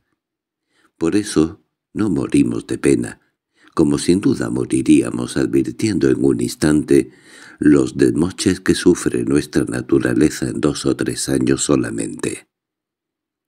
No podemos apreciarlos. Para que uno se diese cuenta de lo que pierde, sería necesario que pasara sin mirarse al espejo seis meses. ¡Oh, qué sorpresa tan desoladora recibiría! ¿Y las mujeres, amigo mío? Son más dignas de compasión que nosotros. Yo compadezco mucho con toda mi alma, compadezco sinceramente a esas pobres criaturas llamadas mujeres. Toda su dicha, todo su poder, toda su gloria, todo su orgullo, toda su vida se reducen a su belleza, que dura diez años. Yo envejecí sin darme cuenta. Me creía un adolescente aún, mientras andaba ya rondando la cincuentena. No padeciendo ningún achaque, ninguna dolencia, ninguna debilidad, vivía como siempre dichoso y tranquilo. La revelación de mi vejez se me ofreció de una manera sencilla y terrible, que me dejó anonadado, aturdido, macilento durante una temporada. Luego acabé resignándome, y aquí me tienes otra vez tan fresco. Como nos acontece a todos, los amores turbaron con frecuencia mi tranquilidad, pero un amor, uno principalmente, me llegó a lo vivo. ¡Qué mujer aquella! La conocí a la orilla del mar, en Etretat un verano, hacía doce aproximadamente, poco después de terminada la guerra. Nada tan delicioso como aquella playa temprano a la hora del baño. Es pequeña, redonda como una herradura. La rodean altas costas blanquecinas, horadadas por los rudos embates de las olas, formando esas aberturas extrañas que se llaman las puertas. Una, enorme, avanzando en el mar su estructura gigantesca. La otra, enfrente, achatada como si se hubiese acurrucado. Numerosas mujeres, formando espléndida muchedumbre, se reúnen y se apiñan sobre la estrecha extensión pedregosa que cubren de vestidos claros, convirtiéndola en un jardín cercado por altas peñas. El sol cae de lleno sobre las costas, sobre las sombrillas de vibrantes matices, sobre el mar de un azul verdoso, y todo aquello es alegre, vivo, encantador. Todo sonríe a los ojos. Plácidamente sentados junto al agua, vemos a las bañistas, bajan envueltas en sus peinadores de franela, que abandonan con airoso y resuelto ademán en cuanto llegan a la franja espumosa de las olas tranquilas. Entran en el mar, avanzando rápidamente hasta que un estremecimiento frío y delicioso las detiene y las turba un instante, produciéndoles una breve sofocación. Pocas bellezas resisten al examen que permite un baño, Allí se las juzga. Se las analiza desde los pies hasta el pelo. Sobre todo, La salida es terrible, porque descubre todas las imperfecciones, aun cuando el agua del mar es un poderoso remedio para las carnes lacias. La primera mañana que vi en el baño a la mujer que debía enamorarme como ninguna, me dejó ya encantado y seducido. Sus líneas eran perfectas y sus formas bien pronunciadas y firmes. Además, hay rostros cuyo encanto nos penetra y nos domina bruscamente, invadiéndonos, conquistándonos de pronto. Imaginamos que aquella mujer es la que debe hacernos felices, que solo nacimos para quererla y adorarla. En aquel momento sentí esa extraña sensación, esa violenta sacudida que nos dice «Aquí está la única, la deseada». Hice que me la presentaran, y bien pronto me hallé apasionado como nunca, ni hasta entonces ni después lo estuve. Sus encantos me abrazaron el corazón. Es a un tiempo delicioso y terrible verse de tal modo poseído, dominado por una mujer. Es casi un suplicio, y asimismo es una dicha incomparable. Su mirada, su sonrisa, los cabellos de su nuca oscilando traviesos, los menores detalles de su rostro, sus gustos más insignificantes me desconcertaban, me arrebataban, me enardecían. Ella era mi dueño. Mi voluntad era suya, y suyo todo mi ser. Me atraía esclavizándome, con sus palabras, con sus ojos, con sus ademanes, hasta con sus vestidos y sus adornos. Todo lo que la hermoseaba ejercía sobre mí una influencia diabólica. Me hacía suspirar su velillo puesto sobre un mueble. Me desconcertaban sus guantes abandonados sobre un sillón. La hechura y la elegancia de sus vestidos me parecían inimitables. Ninguna mujer llevaba sombreros como los suyos. Era una mujer casada. Su marido iba todos los sábados a verla para volverse los lunes. Aquellas visitas no me apuraron. Vi siempre al marido con la mayor indiferencia. No me daba celos. Ignoró el motivo, pero jamás hombre alguno de los que traté influyó tampoco, tuvo tan poca importancia en mi vida, ni ocupó menos mi atención. ¡Cuánto la quería! Qué apasionado estaba yo por aquella mujer, y qué bonita era. Qué graciosa, qué joven. Era la juventud, la elegancia, la frescura misma. Nunca pude convencerme como entonces de que la mujer es una criatura deliciosa, fina, elegante, delicada, hecha con todos los encantos y todos los primores. Nunca pude convencerme como entonces de la belleza seductora encerrada en la curva de una mejilla, en el mohín de unos labios, en los repliegues de una oreja, en la forma del órgano estúpido que se llama nariz. Aquello duró tres meses, al cabo de los cuales me fui a los Estados Unidos con el corazón traspasado. Su recuerdo no me abandonaba, persistente y triunfante. Aquella mujer me poseía de lejos como de cerca me había poseído. Pasaron los años pero no la olvidé. Su encantadora imagen se ofrecía constantemente a mis ojos. No se borraba ni un solo instante de mi pensamiento. Aquel amor inextinguible me dominaba. Era un cariño constante y fiel, una ternura tranquila, como la memoria venerada y dulce de lo más hermoso, de lo más encantador que había conocido yo en mi vida. Doce años representaron muy poco en la existencia de un hombre, tanto es así que apenas podemos darnos cuenta de que pasan, uno tras otro. Los años transcurren a la vez apacible y atropelladamente, lentos y precipitados, parecen interminables y se acaban enseguida. Se van sumando con tanta rapidez Se empujan y suceden de tal modo que no dejan casi un rastro perceptible. Desvanecidos a la sombra de nuestros deseos, de nuestros afanes pasan de continuo. Y si queremos volver atrás los ojos para discurrir acerca del tiempo que ha pasado, no podemos darnos clara explicación de cómo envejecimos. La vejez sorprende al hombre un día, y el hombre se pregunta de dónde sale aquella triste compañera que no le abandona un solo instante. Al cabo de doce años, me pareció que habían pasado solo algunos meses desde aquel verano delicioso en la encantadora playa de Etrecht. De regreso a París, un día de la última primavera, me fui a Malsons para comer con unos amigos.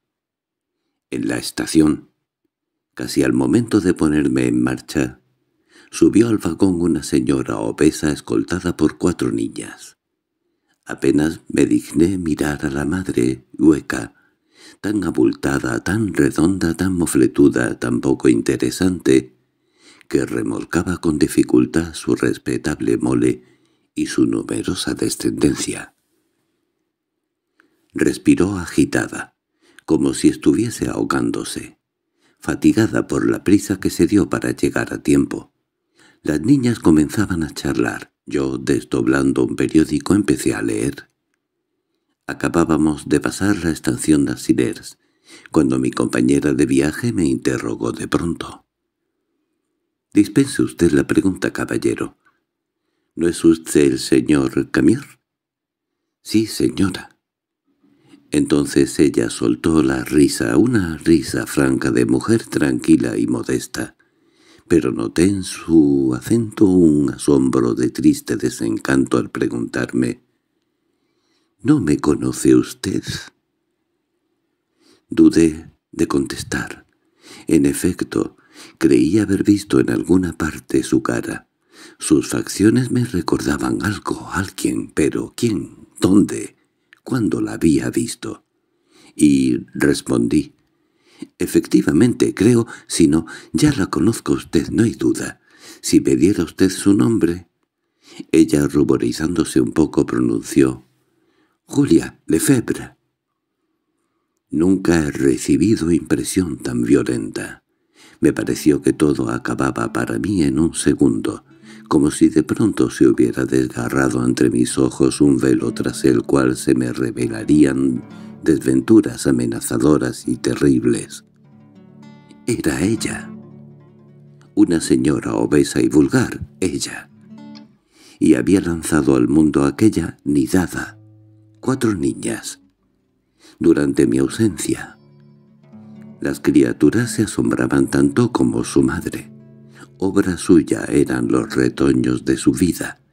Crecieron y ocupaban ya un lugar en el mundo mientras la deliciosa hermosura, la maravilla de gracia y belleza que yo conocí, se había desvanecido. Ya no inspiraba ningún entusiasmo. ¿Cómo se realiza una transformación tan penosa en tan breve tiempo?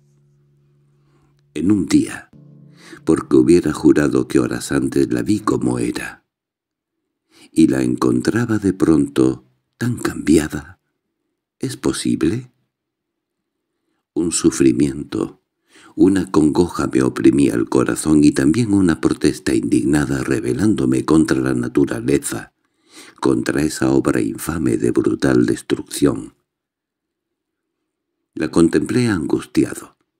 Luego, al oprimir su mano acudieron lágrimas a mis ojos. Lloré su juventud perdida. Lloré su muerte. Había muerto la que yo conocí. La señora mofletuda y abultada que se me presentó era otra. Yo la conocía.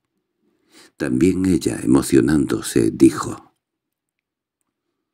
«He cambiado mucho, ¿no es verdad?» «Así es el mundo, todo pasa, ya lo ve usted. Ahora soy una madre solamente, una madre cariñosa, una madre buena. Lo demás pasó, acabó, no volverá. Oh, ya supuse que usted no me reconocería si por casualidad nos encontrábamos, como ha sucedido. También usted ha cambiado bastante. Tuve que fijarme bien, que reflexionar mucho, que discurrir algo, para estar segura de no engañarme. Tiene usted ya el pelo blanco, naturalmente, hace mucho tiempo. Mi niña mayor tiene diez años. Hace ya doce años. Miré a la niña y descubrí en ella un encanto semejante al que tuvo su mamá en otro tiempo. Las facciones, las formas de la criatura, recordando las de su madre aún eran de contornos indecisos, de una expresión vaga pero anunciaban un delicioso porvenir. Y la vida se me pareció rápida, como un viaje en ferrocarril. Llegamos a Maisons. Besé la mano de mi amiga. En una conversación con ella solo se me habían ocurrido vulgaridades. No encontré ni una sola frase feliz. Estaba demasiado aturdido para reflexionar.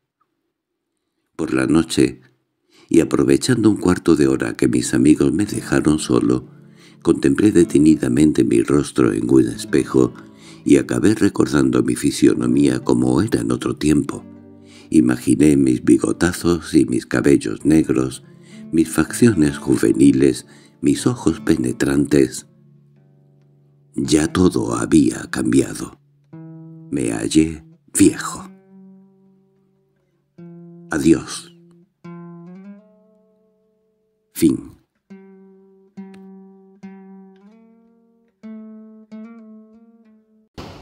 Hoy daremos lectura a tres cuentos de Maupassant. Desde el primer momento Maupassant fue comprendido y estimado porque tenía el alma francesa, las dotes y las cualidades que constituyen lo mejor de la raza. Se le comprendía porque su estilo era todo claridad, sencillez, mesura y fuerza. Se le amaba porque tenía la bondad risueña, la sátira profunda, que, por un milagro, no es perversa, la sana jovialidad que persiste aún bajo las lágrimas. Los lectores, los admiradores, no se engañan. Van instintivamente a este manantial limpio y abundante, a esta belleza de pensamiento y de forma que satisface todos nuestros deseos. Ahora damos comienzo. Espero que estos cuentos sean de tu agrado. El bromazo. Memorias de un guasón. Un cuento de Maupassant. Alcanzamos una época en la cual tienen los guasones apariencias fúnebres y se llaman políticos. Ya no se usa entre nosotros la verdadera guasa, la guasa fina, la guasa retozona y alegre de nuestros padres. Y, sin embargo, ¿sabéis de algo en el mundo más divertido, más picaresco, más ingenioso que una buena guasa? No hay cosa tan entretenida y alegre como chasquear a los crédulos, mofarse de los bobalicones, engañar a los maliciosos, preparar contra los astutos lazos ofensivos y risibles. Hay algo más delicioso que burlar a las personas de talento hasta obligarlas a reír de su propia simpleza, o bien, cuando se disgustan, vengarse de su tirantez con una guasa nueva. Oh, he dado muchos bromazos, muchos, muchos en esta vida y no son pocos los que recibí caracoles. Me los dieron buenos. Yo he dado algunos despampanantes y terribles. Una de mis víctimas, la más desdichada, murió de resultas de uno de ellos. No fue para nadie una pérdida sensible. Con el tiempo y en ocasión oportuna lo contaré. Pero sería difícil ahora teniendo que usar muchas reticencias porque se trata de un bromazo bastante sucio, bastante indecoroso. Tuvo lugar en un villorrio, a poca distancia de París. Los que fueron testigos de aquel suceso trágico lloran aún de risa. Como cada vez que lo recuerdan a pesar de haberse muerto la víctima del chasco. Paz a su alma. Hoy referiré dos bromazos. El último que me han dado y el primero que di. Empecemos por el que hace menos gracia, el que me dieron. Tal vez mi condición de paciente no me permita apreciar todo su chiste. Fui un otoño a cazar con unos amigos en unas posesiones de picardía. Eran muy guasones. Casi es ocioso advertirlo siquiera, no me gusta el trato de otras gentes. Cuando llegué, me hicieron un recibimiento magnífico. Tanto agasajo me dio mala espina. Hubo salvas, aclamaciones, zalamerías. Me lisonjeaban como si todo lo esperasen de mí, como si fueran a divertirse mucho conmigo. Yo me dije al punto. «Cuidado, viejo lagartón, estos malditos preparan algún bromazo de los buenos». Durante la comida reinó el júbilo en la mesa. Todo fue alegría y algazara. No viendo motivo para tanto, reflexioné. Sin duda lo que piensan los divierte mucho, y les rebosa la satisfacción. Aquí hay algo que se me oculta y que, naturalmente, se fragua contra mí. Cuidado, mucho cuidado. Durante la velada todos rieron bárbaramente. Me dio en la nariz que ya estaba dispuesto un bromazo muy gordo. Lo sentía como si lo respirase, como si lo viera flotar en el aire, como los perros olisquean la caza. ¿Pero qué? Yo estaba prevenido ya, dispuesto a defenderme, no dejaba escapar ni una frase, ni una intención, ni un gesto. Hasta los ademanes de los criados me preocupaban. Todo me parecía sospechoso. Llegó la hora de acostarse y me acompañaron a mi alcoba en procesión. ¿Por qué? Desde la puerta me dieron las buenas noches a gritos. Entré, cerré y quedé inmóvil, con la bujía en la mano, alerta. Oí risas apagadas y murmullos en el pasillo.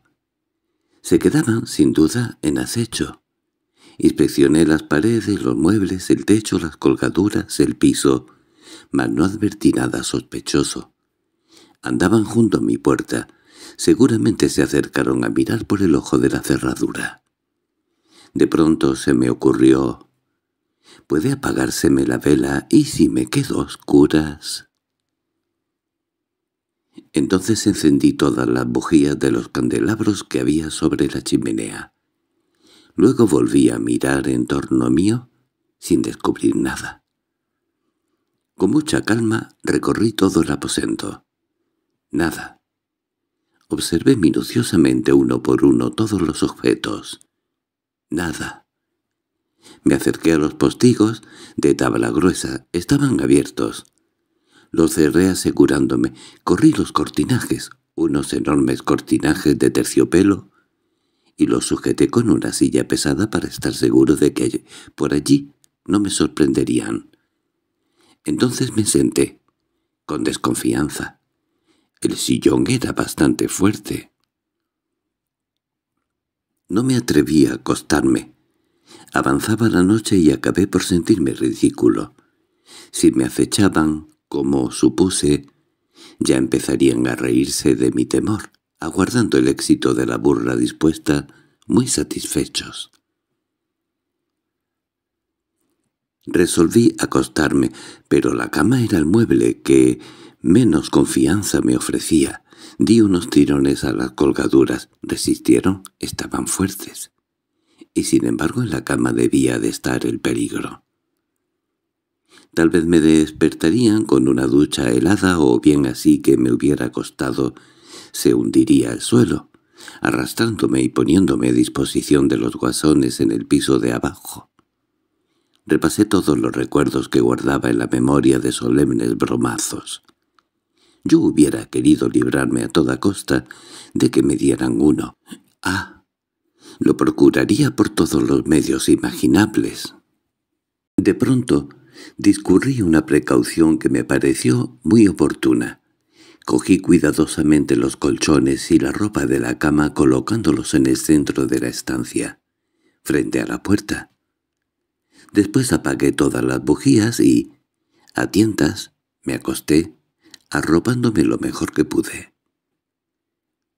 Aún seguí por lo menos una hora desvelado, inquieto estremeciéndome al menor ruido. Sin duda ya dormían todos tranquilamente, y me dormí. Debió de ser algo largo y profundo mi sueño, pero de pronto me desperté sobresaltado sintiendo que se desplomaba un cuerpo sobre mí. Al instante recibí en el rostro, en el cuello, en el pecho, un líquido abrasador que me hizo gritar dolorosamente y un estruendo espantoso, como el de toda una vajilla que rodara por la escalera, ensordeció mis oídos. La masa inerte y silenciosa que había caído sobre mi cuerpo me sofocaba. Tendí las manos para reconocer la naturaleza de aquel objeto y encontré una cabeza, una nariz, unas patillas. Entonces Di un puñetazo con toda mi fuerza en aquella cara y recibí al punto una lluvia de arañazos que me hicieron saltar precipitadamente, huyendo en camisa lanzándome al patio por la puerta que había abierto ya. ¡Oh, estupor! Estaba muy avanzado el día, todos acudieron a mis gritos, viendo en el suelo de mi alcoba despavorido a una ayuda de cámara. Había entrado completamente a oscuras, llevándome un servicio de té, y tropezó en los colchones cayendo sobre mi vientre y abrazándome, bien a su pesar, con mi desayuno. Las precauciones tomadas cerrando herméticamente maderas y colgaduras y acostándome, además, en el suelo, eran la causa única del bromazo. Apenas dio que reír aquel día. La otra burla que me propongo referir data de mi primera juventud. Tenía yo quince años y pasaba las vacaciones con mis padres. El suceso también se desarrolla en un castillo y en Picardía también. Con frecuencia nos visitaba una señora también, una vieja insoportable, antipática, entrometida, chismosa, colérica, rencorosa y malintencionada. La tomó conmigo. Yo no sé por qué. Y no cesaba de urdir embrollos y de presentar quejas contra mí, dando siempre una torcida interpretación a mis palabras más sencillas y a mis acciones más insignificantes. «Oh, la vieja arpía». Se llamaba señora Tefur. Lucía una peluca del más hermoso y brillante color negro, aun cuando tuviera muy cumplidos los sesenta, y se tocaba con pequeñas cofias ridículas adornadas con cintas de color de rosa. Todos la respetaban porque tenía mucho dinero, pero yo la odiaba de todo corazón y resolví tomar venganza de los agravios que me había constantemente con su desleal y abusivo proceder. Acababa yo de aprobar el penúltimo curso de bachillerato y estudiando química, me había chocado muy singularmente con sus propiedades raras. Un cuerpo llamado fosfuro de calcio, el cual, arrojado por una vasija llena de agua, se inflama, crepita, se dispara describiendo círculos y desprende coronas de vapor blanco de un olor infecto. Yo había reunido, tomándolo a hurtadillas naturalmente para divertirme durante las vacaciones, una buena cantidad de aquel producto, semejante a simple vista por hallarse cristalizado al azúcar piedra. Tenía yo un primo de mi edad. Le comuniqué misteriosamente mi proyecto y se asustó de mi audacia, pero su asombro no hizo desistir. Y una noche Mientras toda la familia se hallaba reunida en el salón conversando, me escurrí precipitada y sigilosamente hasta el aposento en donde hospedábamos a la señora Dafur, y cogí, perdón, señoras, un receptáculo de forma redonda que se oculta generalmente a poca distancia de la cabecera de la cama por si necesitamos servirnos de él a medianoche. Me cercioré de que se hallaba completamente seco y esparcí en su fondo un puñado, una cantidad bastante considerable del fosfuro de calcio. Luego subí a ocultarme en un desván, aguardando el momento. Pronto un rumor de pasos y voces me anunció que subían a las alcobas. Después la casa quedó en silencio, y entonces con los pies descalzos bajé sin hacer el más pequeño ruido, conteniendo la respiración hasta colocarme junto a la puerta de mi enemiga y enfilar una mirada por el ojo de la cerradura. La señora Dafour preparaba cuidadosamente su tocado nocturno. Luego fue despojándose una por una de todas las prendas de vestir, y se puso un peinador blanco muy tenue, que dibujaba sus descarnadas formas, adhiriéndose a su osamenta como el propio pellejo. Cogió un vaso, lo llenó de agua. Se hundió luego en la boca una mano, como si hubiera querido arrancarse la lengua, y sacó un objeto semicircular blanco y sonrosado que sumergió al momento en el agua. Sentí un escalofrío de miedo, como si acabara de presenciar un misterio vergonzoso, repugnante y terrible. Aquello era una dentadura postiza. Inmediatamente, quitándose la peluca, negra como el azabache, mostró una cabeza pelada, un cráneo pequeño donde aparecían desperdigados algunos pelos blanquecinos. Era tan cómico aquel espectáculo que me fue difícil contenerme y no soltar la carcajada. Por fin rezó sus oraciones de rodillas. Se levantó, agarró el instrumento de mi venganza y lo dejó en el suelo, tomando posiciones en él agachada, cubriendo enteramente con el peinador.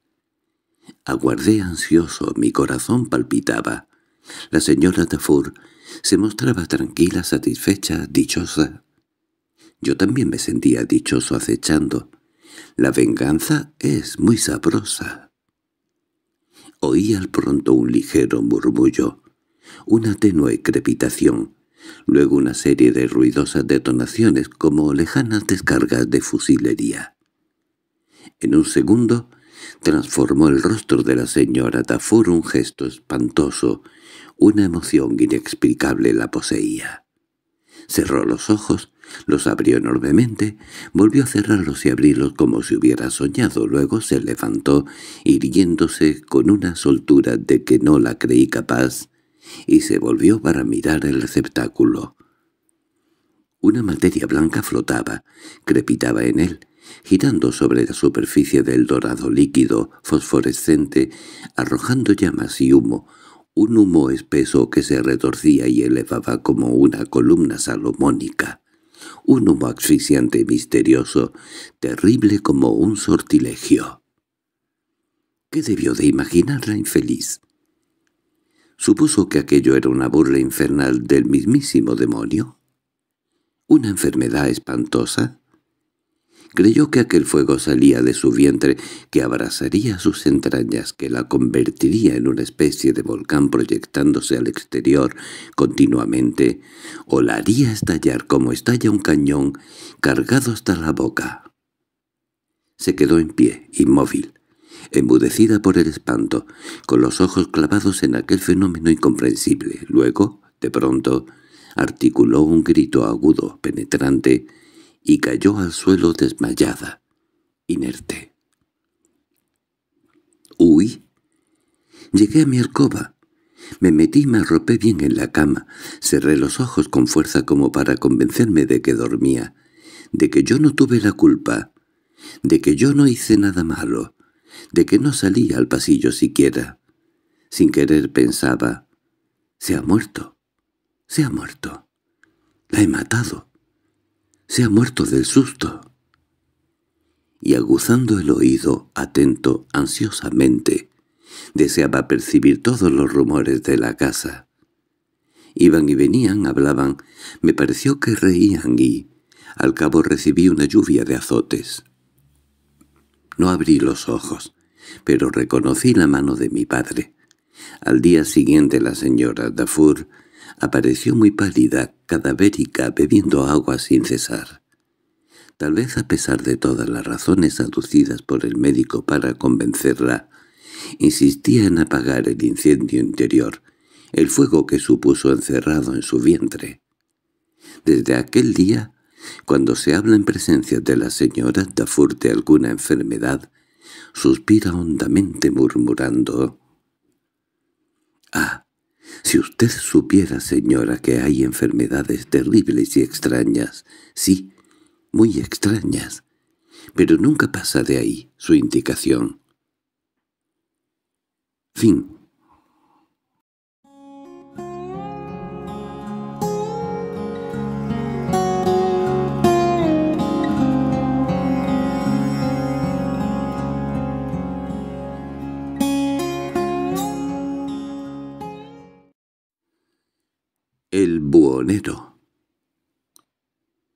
Breves memorias, asuntos insignificantes, dramas humildes presenciados, adivinados, tal vez sospechados para mi alma joven e ignorante aún, son como hilos que me arrastran poco a poco hacia el conocimiento de la desconsoladora verdad. A cada instante cuando vuelvo atrás la vista, en mis largas divagaciones, aparecen risueños o terribles recuerdos aislados que revolotean a poca distancia de mí, como los pájaros en los matorrales. Caminaba yo en verano por la carretera que domina el hermoso lago Burguet, recreando los ojos en el agua tranquila y azul, de un azul abrillantado con los últimos destellos de sol poniente.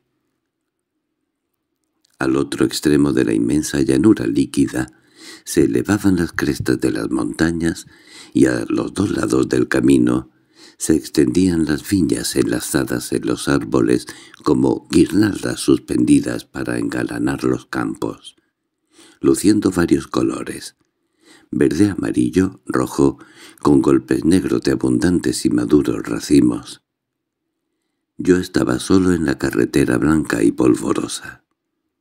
De pronto, entre los árboles del bosquecillo que limitan el pueblo de Sant, apareció un hombre abrumado por el peso de su carga y dirigiéndose hacia mí apoyado en un bastón. Al verle de cerca le supuse buhonero.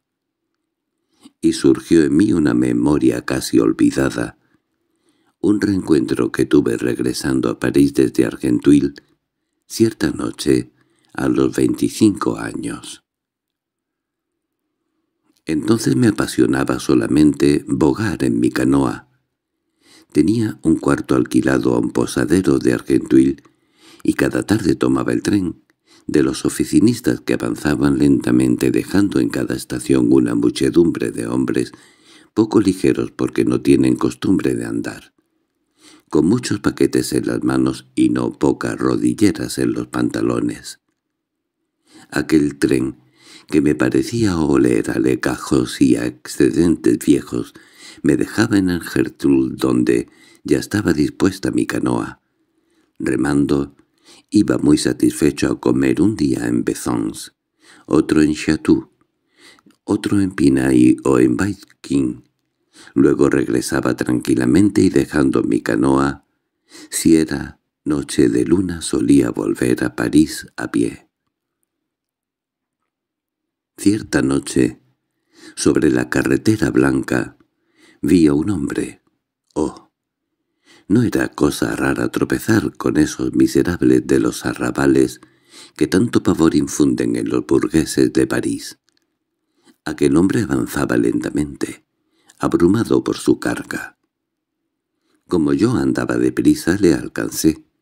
Se detuvo al sentirme y echándose a un lado me dejó pasar. Luego dijo, «Buenas noches, caballero».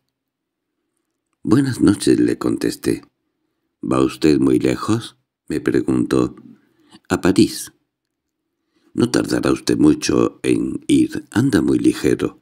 Mi fardo pesa mucho para permitirme ir tan deprisa. No puedo». Acorté un poco el paso, ¿Por qué me daba conversación aquel hombre? ¿Qué llevaría su fardo? Sospechas vagas de algún crimen excitaron mi curiosidad. Las gacetillas de los periódicos refieren tantos diariamente, haciendo siempre mención de aquellos lugares que algunos deben de ser verdaderos. No se inventa de tal modo para satisfacer mi curiosidad inagotable del suscriptor, pero la voz de aquel hombre me parecía más temerosa que imponente, y su facha le acreditaba más de infeliz que de agresivo. Le pregunté, —¿Va usted muy lejos? —Más allá de Asiners. Allí tengo mi casa. Y saltando la cuneta, pasó del sentido de donde caminaban los peatones, buscando las sombras de los árboles al centro de la carretera. Nos mirábamos el uno al otro con cierta desconfianza, empuñando cada cual su bastón. Cuando le vi más cerca no me dio cuidado alguno. También él se tranquilizó completamente y me dijo, «¿Le sería igual ir más despacio?» «¿Por qué?» «Porque no me gusta este camino de noche cuando llevo mercancías. Yendo los dos juntos no es tan fácil que se atrevan». Comprendí que hablaba con sinceridad y que tenía miedo. Acorté mis pasos, y a la una de la noche caminaba lentamente con mi desconocido compañero por la carretera. Le pregunté, ¿cómo vuelve a estas horas habiendo peligro de que le roben sus mercancías? Me contó su historia. Tenía dispuesto no volver a su domicilio aquella noche, habiéndose llevado a salir de su casa objetos para tres días. Pero presentándose bien las ventas y habiéndosele agotado algunas baratijas indispensables, se vio obligado a volver para cargar con ellas. Me comunicó, muy satisfecho, que se daba maña y convencía fácilmente a los compradores engolisionándolos con su charla, y dijo al acabar, en Ancier tengo una tienda y allí despacha a la mujer. —Ah, es usted casado. Hace quince meses. Tengo una hermosa mujer, y llegando noche le daré una sorpresa. Me refirió su matrimonio. Quería mucho a su novia, pero no acababa de decidirse. Así estuvieron dos años.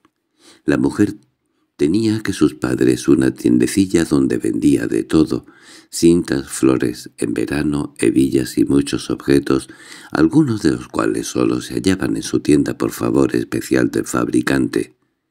La conocían muchos en Asnières, muy hacendosa. La llamaban Celeste porque gastaba mucho vestirse de claro. Sabía ganar dinero. En aquellos días la encontraba enferma, tal vez a causa del primer embarazo, pero esto no era seguro. Su comercio producía bastante, y al ir de un pueblo a otro el buhonero, además de las mercancías para el público, llevaba muestras de géneros para los humildes tenderos que no estaban en relaciones directas con los fabricantes. Así era también una especie de comisionista. —¿Y usted a qué se dedica? —me preguntó. Me vi algo comprometido para contestarle y le dije que tenía en Argentuil una lancha de vela y dos canoas de regatas, que iba a casa todas las tardes a hacer ejercicios de remo y que volvía todas las noches a París, donde me llamaba mi profesión, dándole a entender que mi profesión era bastante lucrativa. El buhonero replicó, «Caramba, si yo tuviese dinero como usted, no me divertiría por estos caminos de noche y solo. No hay seguridad ninguna.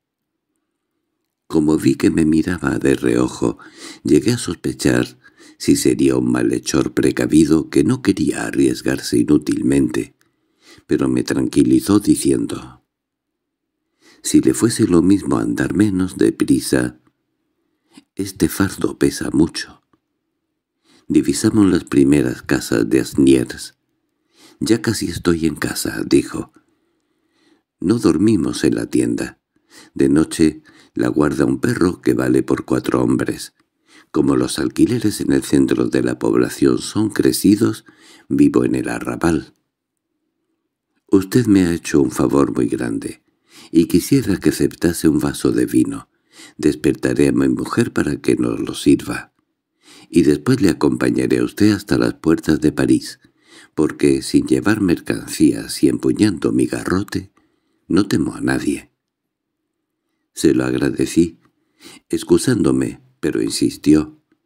Yo me defendía, pero él se obstinaba con tal sinceridad y tal expresión de agradecimiento, diciéndome contristado, que sin duda yo no me dignaba de ver con un hombre como él, que me obligó a complacerle y le seguí hasta uno de los caserones grandes y destartalados que forman los arrabales de los arrabales. Todavía dudé.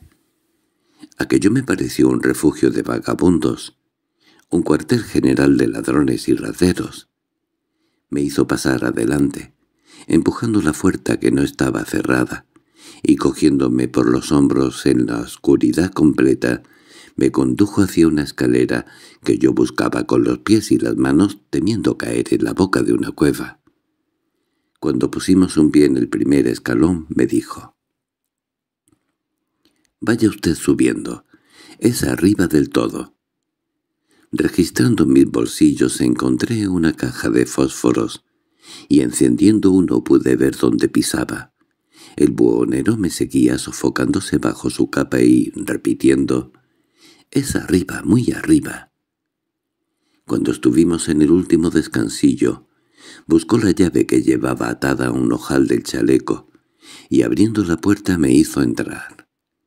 Vi las paredes blanqueadas, una mesa, un armario y seis sillas. «Voy a despertar a mi mujer», dijo. «Luego bajaré a la cueva para sacar vino.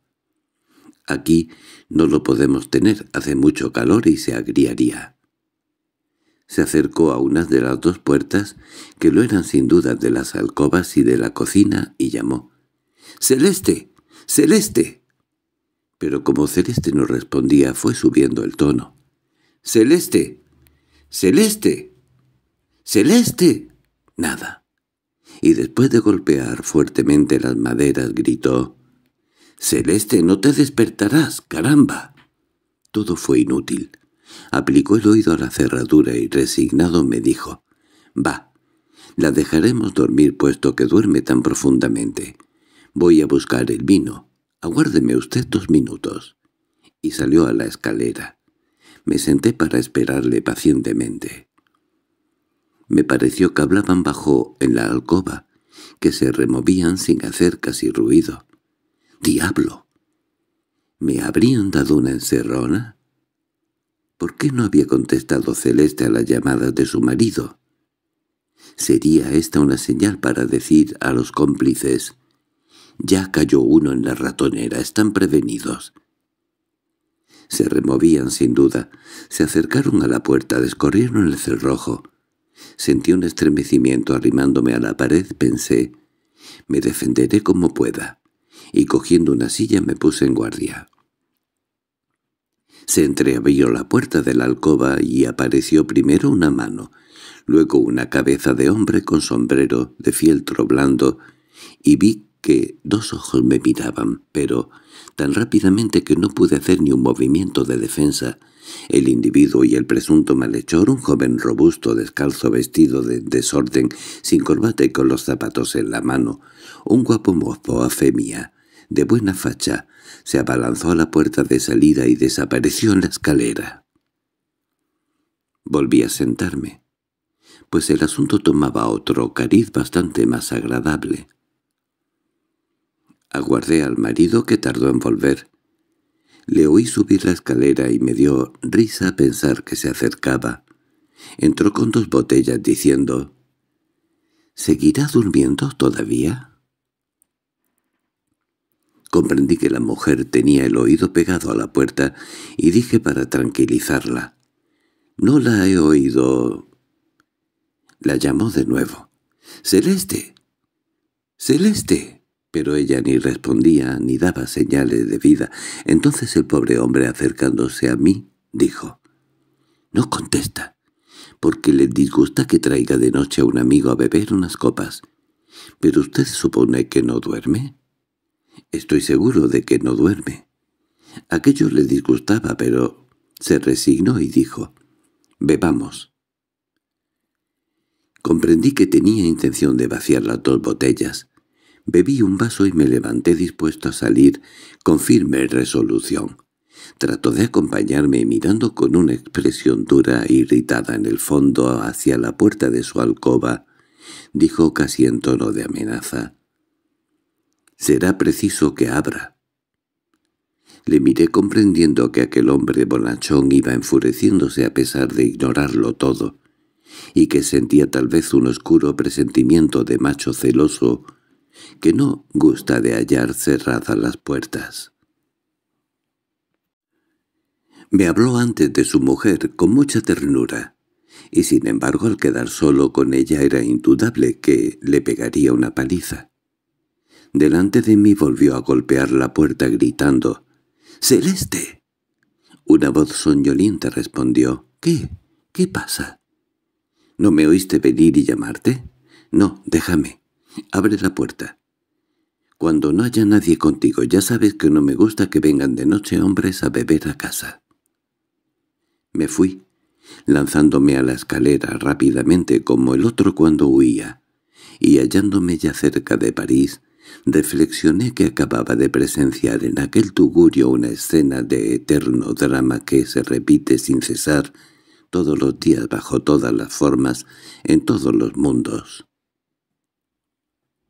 Fin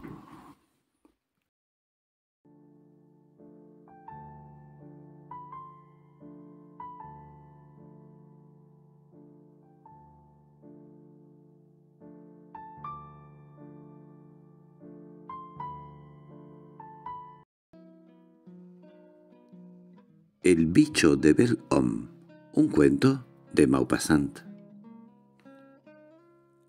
Se disponía a salir de Criquecot la diligencia del Havre, y todos los viajeros aguardaban en el parador a que los fueran llamando para ocupar sus asientos.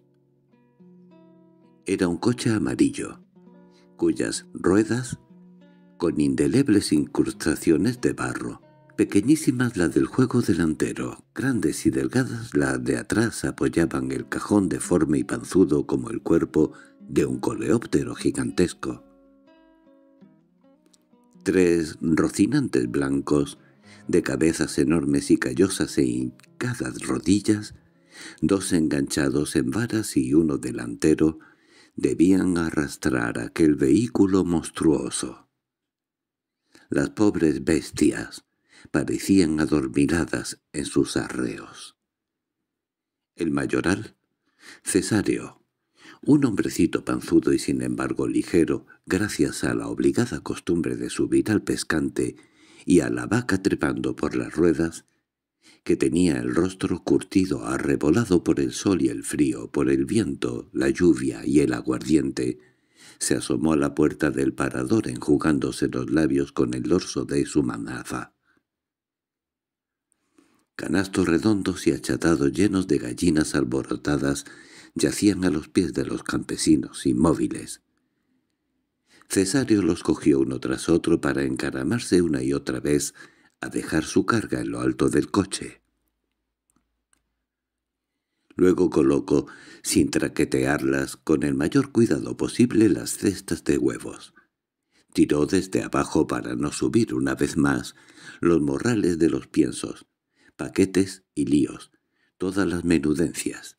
Luego abrió la portezuela y sacó un papel del bolsillo y empezó a llamar a los viajeros. «El señor párroco de Georgeville».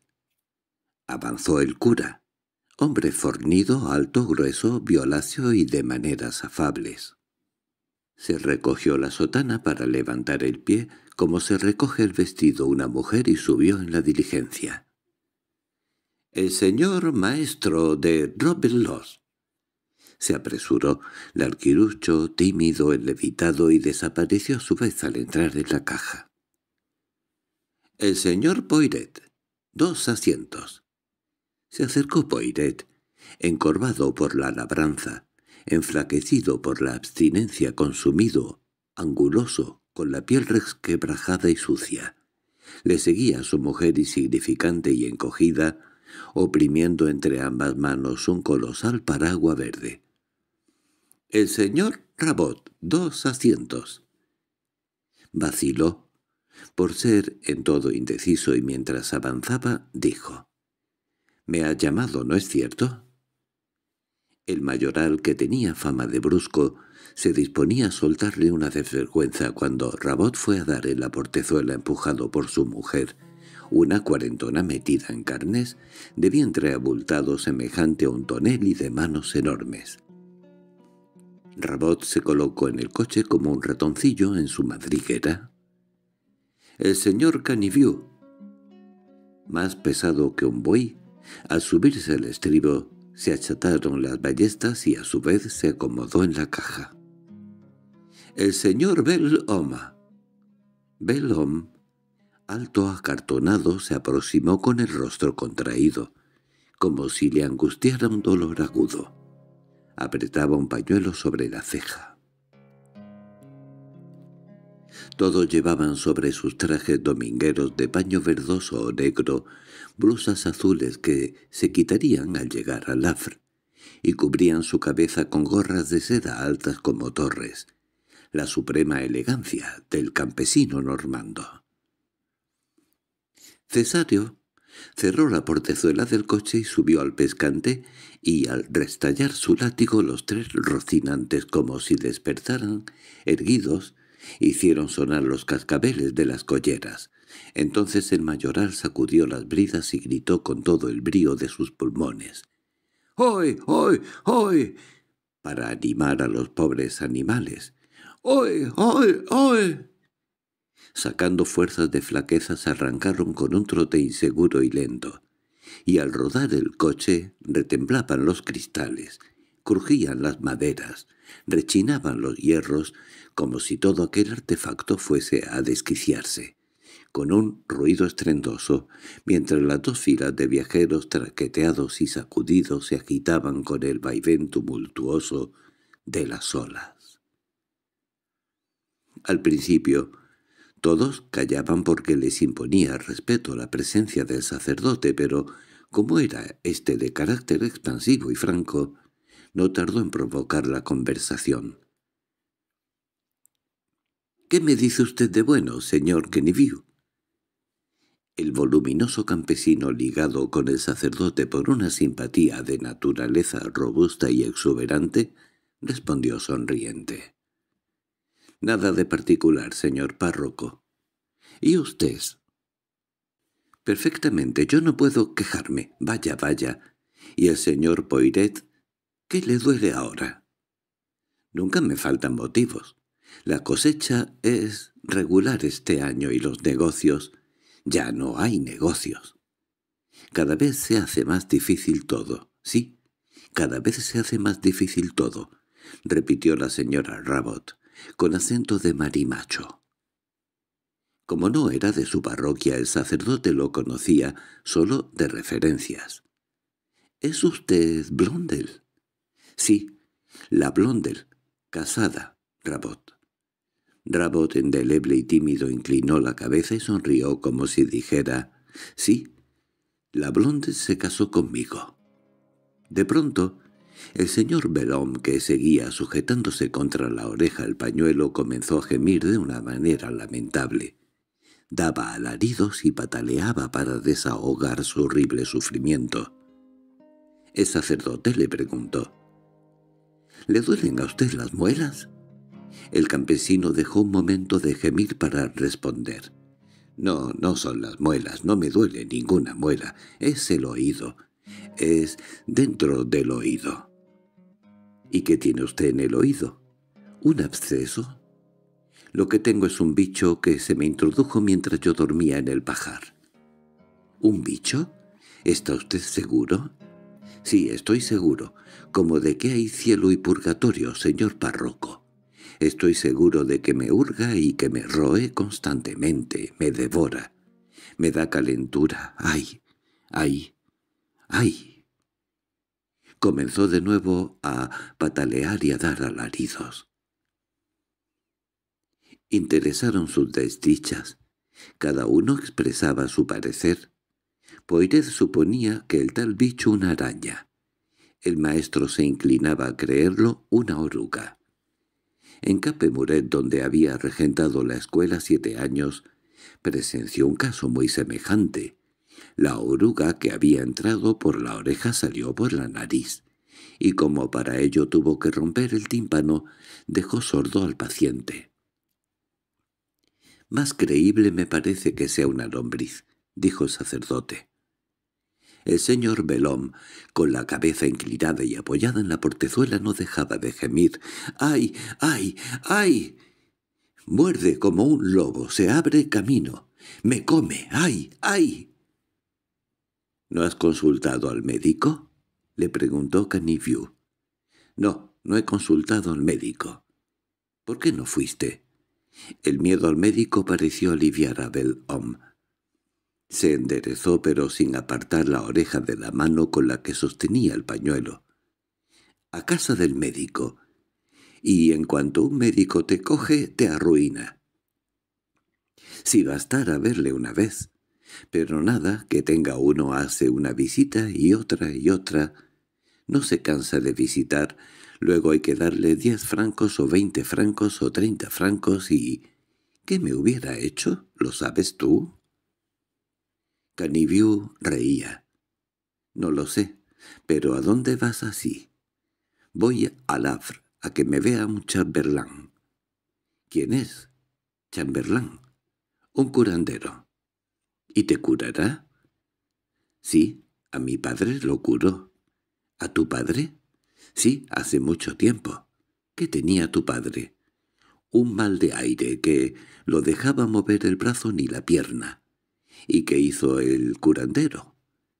Le sobó el costado como soban el pan cuando amasan, y en un par de horas lo puso bueno. Bellom sabía que Chamberlain aseguraba el efecto de sus curas con ciertas frases mágicas, pero no se atrevió a decirlo en presencia del sacerdote. Canivio insistía risueño. «¿No será un conejo lo que te ha entrado en el oído. A ver la maraña de pelo que asoma, semejante a un zarzal. Pudo confundirlo con su madriguera. Voy a espantarlo, verás cómo sale. Y sirviéndole de tornavoz las palmas de las manos comenzó a imitar el estridente algarabía de perros de caza cuando persiguen a una res. Aullaba, ladraba, chillaba, gruñía, gemía y todos los viajeros, incluso el maestro, que no se reía nunca, se hartaron de reír. El sacerdote comprendió que a Belhomme le molestaba ya servir de pretexto para tan ruidosa broma y para dar a la conversación otro giro, dirigió a la hercúlea señora Rabot esta pregunta. —¿Tiene usted muchos hijos? —Muchos, demasiados respondió la mujerona. «Cuesta mucho criar tanta familia». Rabot inclinó la cabeza como para reforzar el razonamiento de su mujer. «¿Cuántos hijos tiene usted?» Con arrogancia, con voz firme y segura dijo la señora Rabot. «Quince.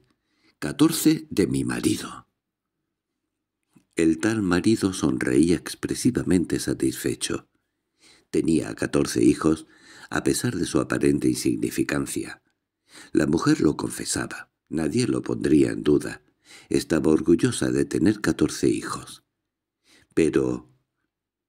¿De quién era el otro si tenía quince? La mujer no dijo entonces, y a nadie sorprendió. Conocerán la historia. Un hijo anterior al matrimonio, un desliz de soltera. Ni Caniviu se reparaba en todo, hizo comentarios ni preguntó nada. Bel Om volvió a gimotear. —¡Ay! ¡Ay! ¡Ay! Me hurga, me come. ¡Qué desgracia la mía! La diligencia se detuvo en una posada. El sacerdote dijo, «Tal vez con un poco de agua saldría». ¿Por qué no lo prueba? ¿Quiere usted probarlo? Bueno, sí, lo probaré. Se apearon todos para presenciar la operación. El sacerdote pidió una jofaina, una toalla y medio vaso de agua y encargó al maestro que sujetara la cabeza del paciente para mantener la oreja en posición horizontal. Y cuando el agua hubiese penetrado bien, le volverían de pronto para verterla de un golpe. Pero Caneview, que tenía los ojos clavados en la oreja de Belón procurando a simple vista redescubrir el bicho, exclamó «¡Remedios, qué mermelada! Es necesario destapar la madriguera para que pueda salir el conejo. Se le pegarían las patas en esa confitura». El sacerdote, al ver el orificio completamente cegado, también opinó que allí no era posible intentar nada. El maestro se encargó de la limpieza valiéndose de un palitroque y de un trapo. Entre la general ansiedad, el sacerdote vertió en el pabellón de la oreja medio vaso de agua que, al rebosar, corría por la cara, por el pelo, por el cojote del paciente. Después el maestro hizo girar violentamente la cabeza, como si fuera a desatornillarla. Cayeron algunas gotas de líquido en la jofaina. Todos los viajeros se acercaron a ver lo que había salido, pero no vieron bicho alguno. Sin embargo, Bell-Om dijo, «Ya no siento nada. Ya nada me duele». Y el sacerdote satisfecho exclamó, «Es posible que haya muerto ahogado». Volvieron todos a la diligencia, pero apenas comenzaron a trotar los rocinantes, Belón lanzó nuevamente ayes horribles. El bicho se había despertado con más furia. Ya le roía, le devoraba el cerebro. Y se retorcía de tal modo que la señora Poiret, creyéndole poseído por el demonio, comenzó a llorar y a hacer cruces. Luego el dolor se calmó algo. El paciente notaba que había vuelto hacia fuera el bicho. Imitaba con los dedos la marcha del animal y como si lo viera decía «¡Ya sube otra vez! ¡Ay, ay, ay! ¡Qué desdichado soy!» Caniview empezaba a impacientarse. Con el agua se ha exasperado. No le gustará sin duda el agua. «Echadle vino». Volvieron todos a reír estrepitosamente. Cuando lleguemos a una venta echadle un trago de lo añejo y se calmará. Es lo que pide. Pero, entre tanto, Bellhomme sentía mordeduras iniguantables. Comenzó a gritar como si le arrancasen el alma. El sacerdote le sostenía la cabeza y el mayoral accedió a detenerse para pedir auxilio en cualquier casa de labor. Así lo hicieron. Entre todos bajaron a Belón de la diligencia y lo tendieron sobre un banco para reparar la operación. Canifiu aconsejaba se hiciera con aguardiente aguado el nuevo lavatorio con objeto de adormecer al bicho emborrachándole y matarlo así tal vez. El sacerdote me habló antes de su mujer con mucha ternura y sin embargo al quedar solo con ella era indudable que le pegaría una paliza. Delante de mí volvió a golpear la puerta gritando «¡Celeste!». Una voz soñolienta respondió «¿Qué? ¿Qué pasa?» «¿No me oíste venir y llamarte?» «No, déjame. Abre la puerta». «Cuando no haya nadie contigo, ya sabes que no me gusta que vengan de noche hombres a beber a casa». Me fui lanzándome a la escalera rápidamente como el otro cuando huía, y hallándome ya cerca de París, reflexioné que acababa de presenciar en aquel tugurio una escena de eterno drama que se repite sin cesar todos los días bajo todas las formas en todos los mundos. Fin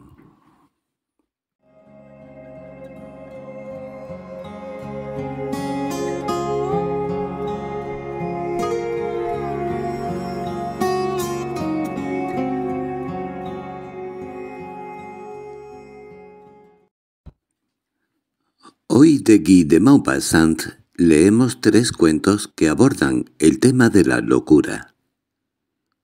El primero de título un loco. El segundo, carta de un loco y el tercero, loco con interrogación. Se ha podido adivinar que la predilección de Maupassant por este tipo de fenómenos va mucho más allá de su simple utilización como recurso literario. Decía, «Los locos me atrajeron siempre, y siempre me vuelvo hacia ellos, llamado a mi pesar por ese misterio banal de la demencia». De esta forma, locura, pero también muerte, suicidio, enajenación mental y fuerzas ocultas turban la mente de este hombre y dominan sus relatos. Ahora damos comienzo al primero de estos cuentos. Espero que sean de tu agrado. Un loco. Un cuento de Guy de Maupassant.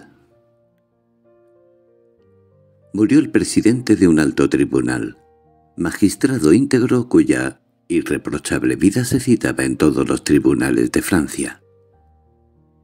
Abogados, jóvenes consejeros y jueces saludaban con una gran reverencia, en señal de profundo respeto. Su alta figura blanca y enjuta, que iluminaban dos ojos brillantes y profundos. Se había pasado la vida persiguiendo el crimen y protegiendo los débiles.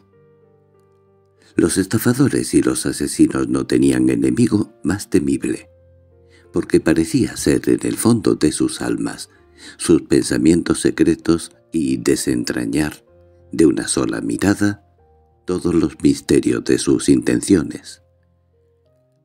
Así pues, había muerto a la edad de ochenta y dos años, rodeado de homenajes y perseguido por las lamentaciones de todo un pueblo.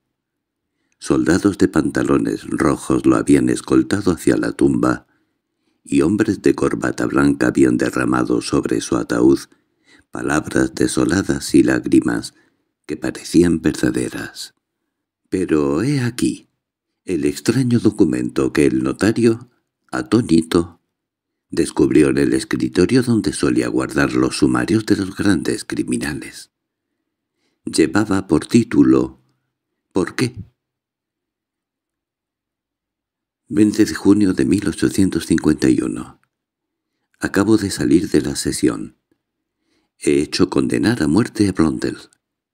¿Por qué mató ese hombre a sus cinco hijos? ¿Por qué?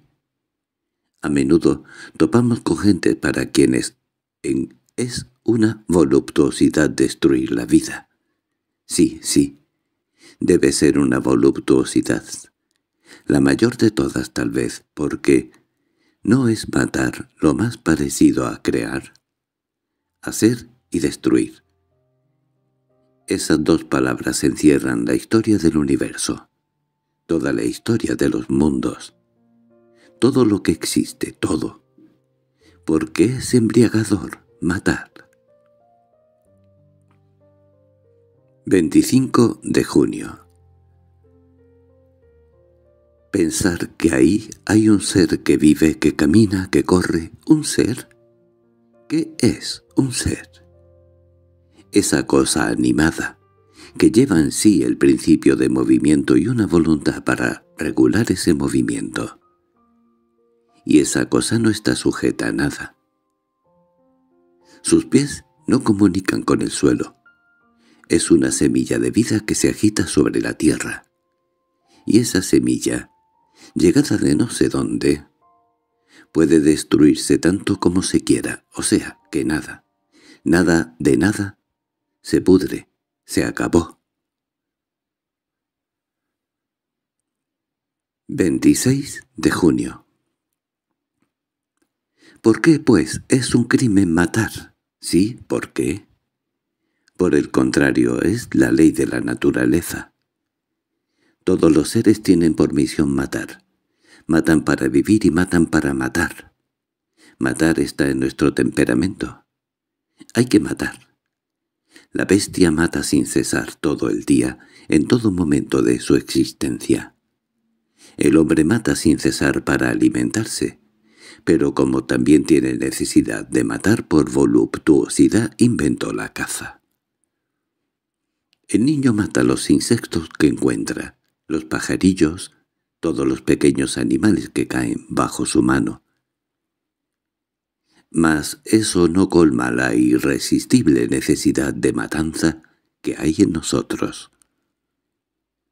No es suficiente matar a la bestia, también tenemos necesidad de matar al hombre. Antiguamente se satisfacía esa necesidad mediante sacrificios humanos. Hoy, la necesidad de vivir en sociedad ha hecho del asesinato un crimen. Se condena y se castiga al asesino. Pero como no podemos vivir sin entregarnos a ese instinto natural e imperioso de muerte, nos aliviamos de cuando en cuando con guerras en las que un pueblo entero degüella a otro pueblo. Entonces se produce un desenfreno de sangre, un desenfreno con el que enloquecen los ejércitos y con el que todavía se embriagan los burgueses, las mujeres y los niños que, por la noche y bajo la lámpara, leen el exaltado relato de las matanzas. Podría suponerse que quienes están destinados a realizar estas carnicerías de hombres son despreciados. No los colman de honores. Los visten con oro y ropas brillantes, llevan plumas en la cabeza, adornos sobre el pecho, y le dan cruces, recompensas, títulos de toda clase. Son orgullosos, respetados, amados por mujeres y aclamados por multitud únicamente porque tienen por misión verter la sangre humana. Arrastran por las calles sus instrumentos de muerte, que el transeúnte vestido de negro mira con envidia. Porque matar es la gran ley puesta por la naturaleza en el corazón del ser. No hay nada más bello ni más honorable que matar. 30 de junio Matar es la ley, porque la naturaleza ama a la eterna juventud, parece gritar en todos sus actos inconscientes, «¡Deprisa, deprisa, deprisa!». Cuanto más destruye, más se renueva. 2 de julio El ser. ¿Qué es el ser? Todo y nada. Por el pensamiento es reflejo del mundo. Por la memoria y la ciencia un compendio del mundo, cuya historia lleva en sí. Espejo de las cosas y espejo de los hechos, cada ser humano se convierte en un pequeño universo en el universo. Pero viajad, ved cómo bullen las especies, y entonces el hombre ya no es nada, nada de nada. Montad en barco, alejaos de la orilla cubierta de genio, y pronto no distinguiréis otra cosa que la costa. El ser imperceptible desaparece por pequeño, por lo insignificante que es. Cruzad Europa en un tren rápido y mirad por la ventanilla. Hombres, hombres, siempre hombres. Innumerables desconocidos que pululan en los campos que pululan por las calles labriegos estúpidos que apenas saben algo más que remover la tierra. Mujeres repugnantes que apenas saben otra cosa que hacer la comida del macho y parir. Id a la India, id a China, y seguiréis viendo agitarse a millares de seres que nacen, viven y mueren sin dejar más huella que la hormiga aplastada en las carreteras. Id a los países de los negros, albergaos en cabañas de barro, a los países de los árabes blancos cobijados bajo una lona parda que flota al viento. Y comprenderéis que el ser aislado, determinado, no es nada, nada. La especie lo es todo. ¿Qué es el ser? ¿El ser cualquiera de una tribu errante en el desierto?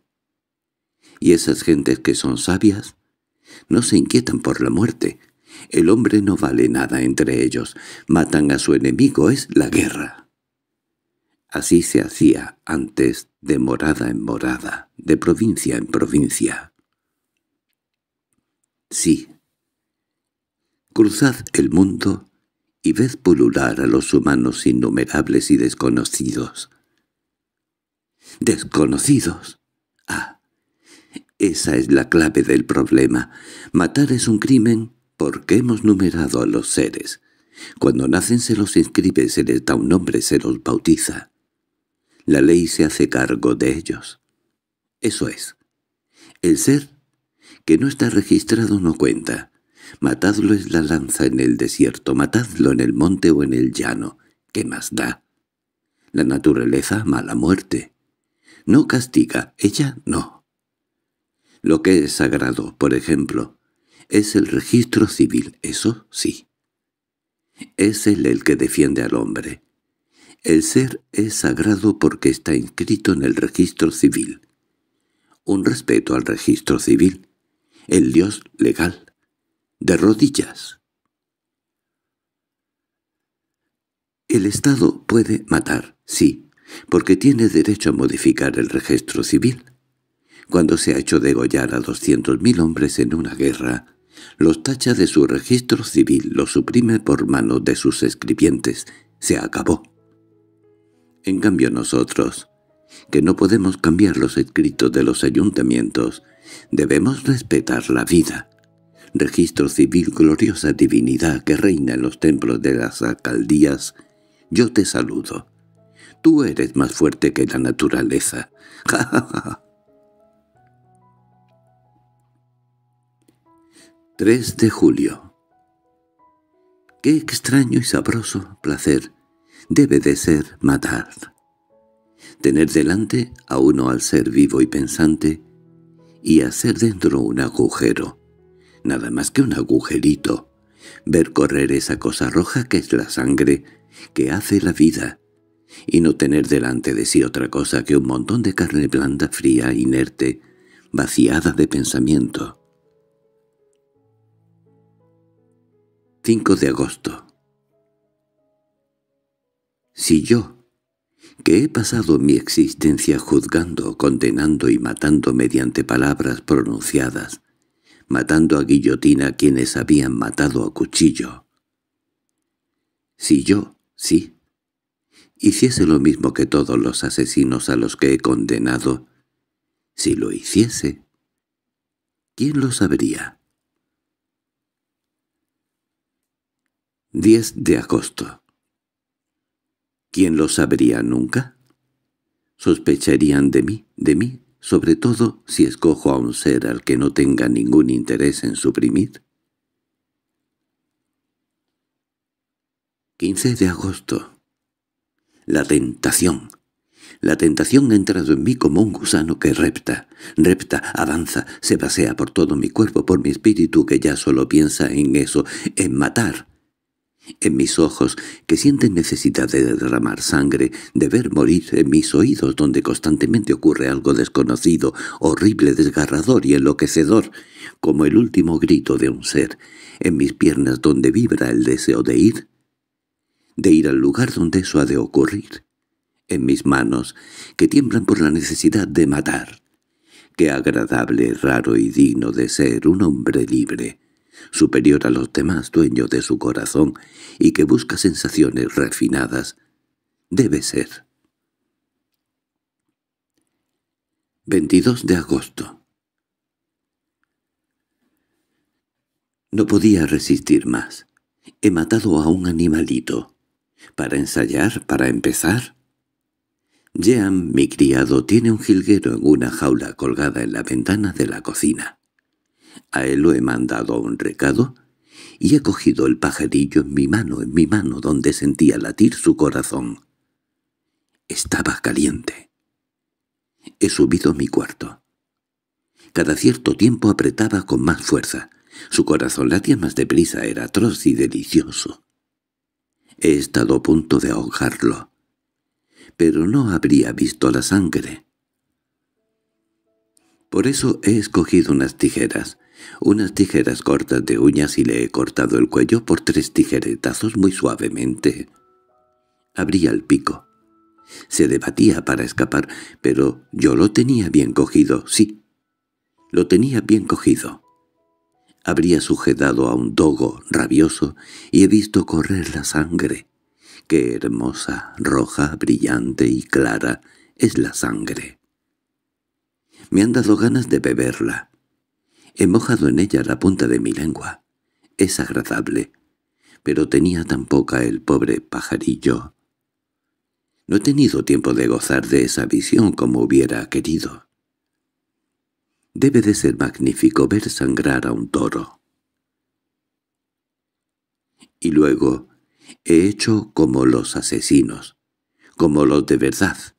He lavado las tijeras, me he lavado las manos, he tirado el agua y he llevado el cuerpo, el cadáver, al jardín para enterrarlo. Lo he sepultado bajo un fresal. Nunca lo encontrarán. Me comeré todos los días una fresa de esa planta. ¿Realmente? ¿Cómo se puede gozar de la vida cuando uno sabe hacerlo? Mi criado ha llorado.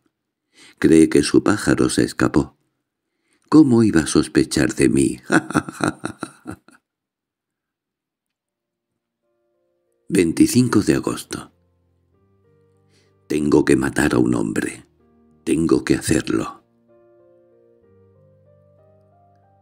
30 de agosto Ya lo he hecho. ¡Qué fácil es! He ido a pasear por el bosque. No pensaba en nada, no en nada. De pronto aparece un niño en el camino, un niñito que estaba comiendo una rebanada de pan con mantequilla. Se detiene para verme pasar y dice, «Buenos días, señor presidente». Y se me mete la idea en la cabeza. ¿Y si lo matase?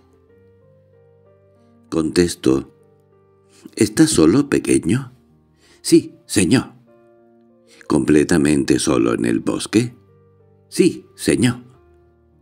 Me embriagaba como el alcohol el deseo de matarle.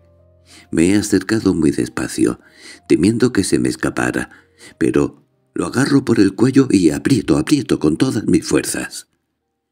Me ha mirado con unos ojos aterrados. ¡Qué ojos! Desorbitados, profundos, limpios, terribles. Nunca había sentido una emoción tan brutal, pero qué breve. Se aferraba a mis muñecas con sus manitas, y su cuerpo se retorcía como una pluma en el fuego. Luego ha dejado de moverse. Mi corazón palpitaba, ah, el corazón del pájaro. He tirado el cuerpo a la cuneta y, luego, hierba encima. He vuelto a casa, he cenado bien, Qué poca cosa, por la noche he estado muy contento, ligero, rejuvenecido. He pasado la velada en casa del prefecto. Me han encontrado ingenioso. Pero no he visto sangre. Estoy tranquilo.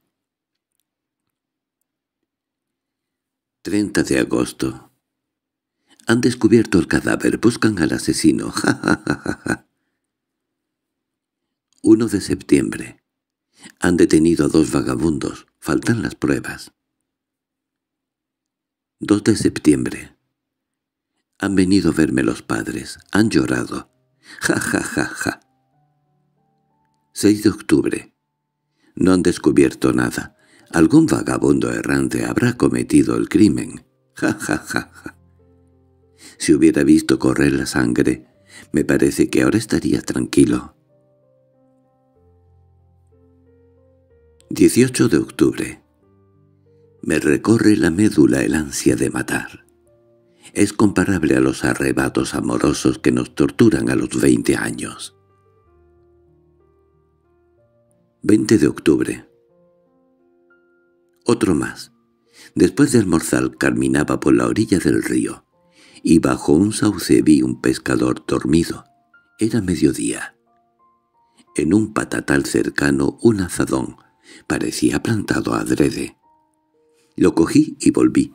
Lo levanté como una maza y de un solo golpe con el filo partí el cráneo del pescador. Este sí que sangró. Sangre rosa llena de sesos corría hacia el agua muy despacio. Y me marché con paso grave. Si me hubieran visto, ja, ja, ja, ja, qué excelente asesino habría sido. 25 de octubre. El caso del pescador causa gran revuelo. Acusan del crimen a su sobrino que solía pescar con él. 26 de octubre. El juez de instrucción afirma que el sobrino es el culpable. En la ciudad todo el mundo lo cree. 27 de octubre. El sobrino se defiende muy mal. Había ido al pueblo a comprar pan y queso, afirma. Jura que ha matado al tío durante su ausencia. ¿Quién va a creerle? 28 de octubre. El sobrino ha estado a punto de confesar, de tanto como lo han hecho enloquecer. ¡La justicia! 15 de noviembre. Hay pruebas abrumadoras contra el sobrino que debía heredar a su tío. Yo presidiré el tribunal. 25 de enero. ¡A muerte! ¡A muerte! ¡A muerte! He hecho que lo condenen a muerte. Ja, ja, ja, ja. El fiscal ha hablado como un ángel. Ja, ja. Otro más. Iré a verlo ejecutar. 18 de marzo. Se acabó. Lo han guillotinado esta mañana. Está bien muerto, muy bien muerto. Me ha causado placer. Qué hermoso ver cortar la cabeza de un hombre. La sangre ha brotado como un chorro, como un chorro. De haber podido hubiera querido bañarme en ella. ¡Qué embriaguez! Tumbarme debajo, recibirla en mi pelo y sobre mi rostro, y levantarme rojo completamente rojo. ¡Ay, si supieran! Ahora esperaré. Puedo esperar. Se necesita tan poco para dejarme sorprender.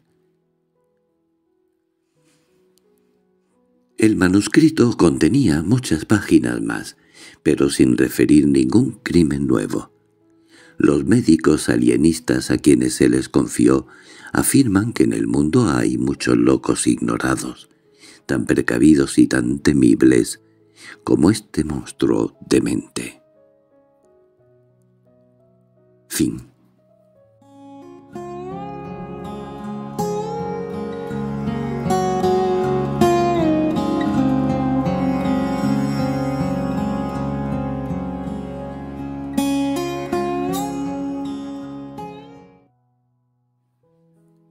Carta de un loco un cuento de Maupassant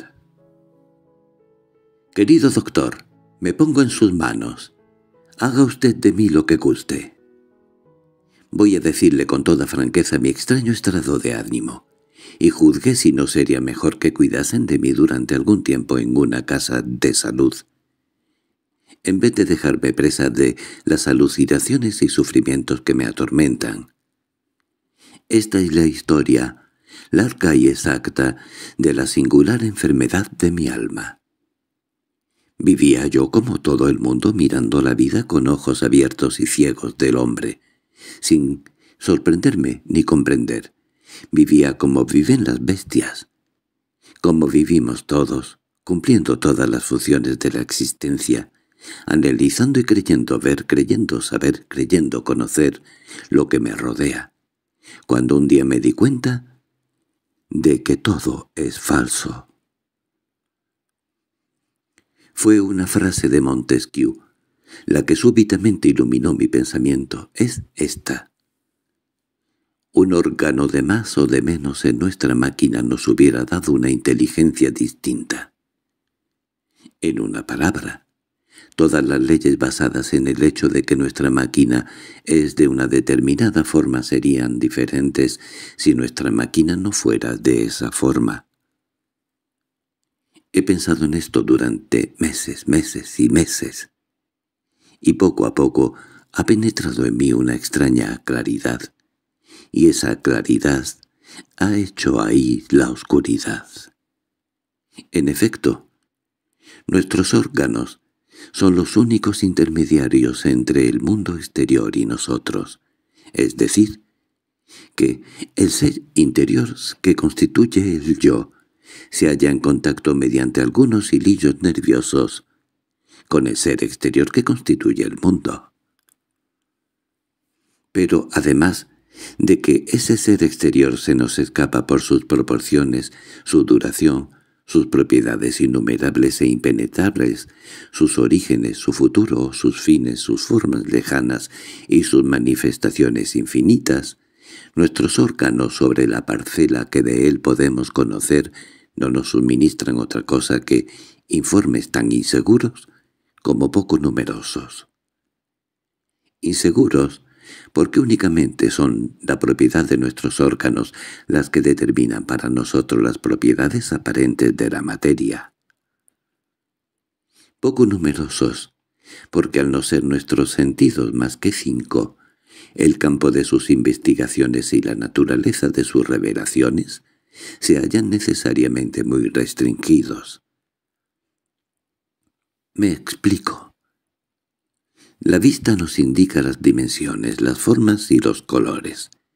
Nos engaña en estos tres puntos. No puede revelarnos otra cosa que los objetos y seres de dimensión media, proporcionados a la estatura humana, lo cual nos lleva a aplicar la palabra grande a determinadas cosas y la palabra pequeña a otras. Solo porque su debilidad no le permite conocer lo que es demasiado vasto, o demasiado menudo para él. De ahí resulta que no se sabe ni se ve nada, que el universo casi entero le queda oculto. La estrella que habita el espacio y el animáculo que habita gota del agua. Incluso aunque tuviera cien millones de veces su potencia normal, aunque viese en el aire que respiramos todas las especies de seres invisibles, así como los habitantes de los planetas próximos, todavía quedarían numerosos infinitos de especies de animales más pequeños y mundos tan lejanos que jamás alcanzaría. Así pues, todas nuestras ideas de proporción son falsas, porque no hay límite posible en la magnitud ni en la pequeñez. Nuestra apreciación sobre las dimensiones y las formas no tiene ningún absoluto al venir determinada únicamente por la potencia de un órgano y por la comparación constante con nosotros mismos. Hemos de añadir que a la vista todavía es incapaz de ser transparente. Un cristal sin efecto la engaña. Lo confunde con el aire que tampoco ve. Pasemos al color. El color existe porque nuestra vista está hecha de modo que transmite al cerebro en forma de color las diversas formas en que los cuerpos absorben y descomponen, siguiendo su constitución química, los rayos luminosos que dan en ellos. Todas las proporciones de esta absorción y de esta descomposición constituyen matices. Así pues, este órgano impone a la inteligencia su modo de ver, Mejor dicho, su forma arbitraria de constatar las dimensiones y de apreciar las relaciones de la luz y la materia. Ahora analicemos el oído. Somos juguetes y víctimas, más todavía que en el caso de la vista, de este órgano fantasioso. Dos cuerpos al chocar producen cierta vibración en la atmósfera, ese movimiento hace estremecerse en nuestra oreja cierta piececita que truena inmediatamente en ruido, lo que en realidad no es otra cosa que una vibración. La naturaleza es muda, pero el tímpano posee la propiedad milagrosa de transmitirnos en forma de sentidos, y de sentidos diferentes según el número de vibraciones, todos los tres estremecimientos de las ondas invisibles del espacio. Esa metamorfosis, realizada por el nervio auditivo en el breve trayecto de la oreja al cerebro, nos ha permitido crear un arte extraño, la música. La más poética y preciosa de las artes, vaga como un sueño y exacta como el álgebra. ¿Qué decir del gusto y del olfato? Conoceríamos los perfumes y la calidad de los alimentos si las propiedades peregrinas de nuestra nariz y nuestro paladar Sin embargo, la humanidad podría existir sin oído, sin gusto y sin olfato, es decir, sin ninguna noción del ruido, del sabor y del olor. Así pues, si tuviéramos algunos órganos menos, desconoceríamos cosas admirables y singulares, pero si tuviéramos algunos más, descubriríamos a nuestro alrededor una infinidad de otras cosas que nunca supondremos por falta de medio para constatarlas. Por lo tanto, nos equivocamos cuando juzgamos lo conocido, y estamos rodeados de desconocido inexplorado. Por tanto, todo es inseguro y puede apreciarse de diferentes maneras. Todo es falso, todo es posible, todo es dudoso. Formulemos esa certidumbre sirviéndonos del viejo proverbio verdad a este lado de los Pirineos, error al otro lado. Y decimos verdad en nuestro órgano, error en el de al lado. Dos y dos no tienen que ser cuatro, fuera de nuestra atmósfera verdad en la tierra, error más lejos, de donde deduzco que los misterios vilumbrados como la electricidad, el sueño hipnótico, la transmisión de la voluntad, la sugestión y todos los fenómenos magnéticos, solo siguen ocultos para nosotros, porque la naturaleza no nos ha proporcionado el órgano o los órganos necesarios para comprenderlos. Después de haberme convencido de que todo lo que me revelan mis sentidos solo existe para mí tal como yo lo percibo, y de que sería totalmente diferente para otro ser organizado de otro modo, después de haber llegado a la conclusión de que una humanidad hecha de otra forma tendría sobre el mundo, sobre la vida y sobre todo ideas absolutamente opuestas a las nuestras, porque el acuerdo de las creencias solo deriva de la similitud de los órganos humanos, y las divergencias de opiniones provienen únicamente de ligeras diferencias de funcionamiento de nuestros hilillos nerviosos. He hecho un esfuerzo de pensamiento sobrehumano para suponer lo impenetrable que me rodea. ¿Me he vuelto loco? Me he dicho, Estoy rodeado de cosas desconocidas. He supuesto al hombre desprovisto de orejas y he supuesto el sonido, como suponemos tantos misterios ocultos.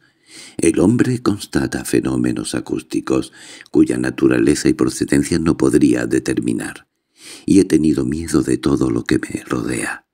Miedo del aire, miedo de la oscuridad, desde el momento en que no podemos conocer casi nada y desde el momento en que todo es ilimitado, ¿qué es el resto? ¿No es el vacío? ¿Qué hay en el vacío aparente? Y ese terror confuso de lo sobrenatural que acosa al hombre desde el nacimiento del mundo es legítimo, porque lo sobrenatural no es otra cosa que lo que permanece velado para nosotros. Entonces he comprendido el espanto. Me ha parecido que rozaba constantemente el descubrimiento de un secreto del universo. He intentado aguzar mis órganos, excitados, hacerles percibir por momentos lo invisible. Me he dicho, todo es un ser. El grito que pasa en el aire es un ser comparable a la bestia. Puesto que nace, produce un movimiento y se transforma incluso para morir, por lo tanto, el espíritu pusilánime que cree en seres incorpóreos no se equivoca. ¿Quiénes son? ¿Cuántos hombres lo presienten, se estremecen cuando se acercan, tiemblan con su imperceptible contacto? Uno lo siente a su lado, alrededor, pero es imposible distinguirlos porque no tenemos los ojos que los verían o mejor dicho, el órgano desconocido que podría descubrirlos. Así, pues, sentía en mí más que nadie a esos transeúntes sobrenaturales, seres o misterios. ¿Lo sé acaso? No podría decir qué son, pero siempre podría señalar su presencia. Y he visto, he visto un ser invisible. ¿Hasta dónde puede verse a esos seres? Permanecía noches enteras inmóvil sentado ante mi mesa, con la cabeza entre las manos y pensando en esto, pensando en ellos. De pronto creí que una mano intangible o más bien un cuerpo inasequible rozaba ligeramente mi pelo. No me tocaba, por no ser la esencia carnal, sino de esencia imponderable, incognoscible. Pero una noche oí crujir el entarimado a mis espaldas. Crujió de un modo singular. Me estremecí. Me volví. No vi nada. Y no volví a pensar en ello. Pero al día siguiente a la misma hora se produjo el mismo ruido. Tuve tanto miedo que me levanté. Seguro, completamente seguro de que no estaba solo en mi cuarto. No se veía nada, sin embargo. El aire estaba limpio y transparente en todas partes. Mis dos lámparas iluminaban todos los rincones. El ruido no se repitió y fui calmándome poco a poco, sin embargo, permanecía inquieto y me volvía a menudo. Al día siguiente me encerré a hora temprana, buscando la forma en que podría conseguir ver lo invisible que me visitaba. Y lo vi. Estuve a punto de morir de terror. Había encendido todas las bujías de mi chimenea y de mi lustro. La habitación estaba iluminada como para una fiesta. Sobre la mesa ardían mis dos lámparas. Frente a mí la cama, una vieja cama de roble con columnas. A la derecha mi chimenea, a la izquierda la puerta, con el cerrojo echado, a mi espalda un grandísimo armario de luna. Me miré en él. Tenía unos ojos extraños y las pupilas muy dilatadas. Luego me senté como todos los días. La víspera y la antevíspera el ruido se había producido a las nueve y veintidós minutos. Esperé. Cuando llegó el momento preciso, percibí una sensación indescriptible, como si un fluido, un fluido irresistible, hubiera penetrado en mí por todas las parcelas de mi carne, sumiendo mi alma en un espanto atroz. Y se produjo el crujido justo a mi lado. Me incorporé, volviéndome tan deprisa que estuve a punto de caerme. Se veía como en pleno día, pero yo no me vi en el espejo. Estaba vacío, claro, lleno de luz. Yo no estaba dentro, y sin embargo me hallaba enfrente. Lo miré con ojos enloquecidos. No me atreví a avanzar hacia él, sintiendo que entre nosotros se interponía él. Lo invisible. Lo invisible me tapaba. ¡Qué miedo pasé! Y he aquí que empecé a verlo envuelto en bruma en el fondo del espejo, en una bruma como a través del agua, y me parecía que aquella agua fluía de izquierda a derecha, lentamente, volviéndome más preciso segundo a segundo. Era como el final de un eclipse. Lo que me tapaba no tenía contornos, sino una especie de transparencia opaca que iba aclarándose poco a poco.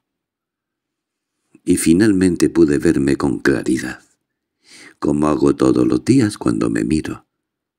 Lo había visto, y no he vuelto a verlo.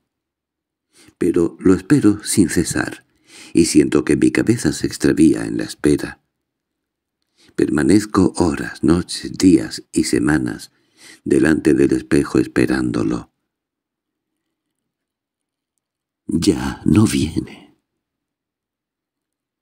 Ha comprendido que yo lo había visto, mas yo sé que lo esperaré siempre hasta la muerte, que lo esperaré sin descanso, delante de ese espejo como un cazador al acecho.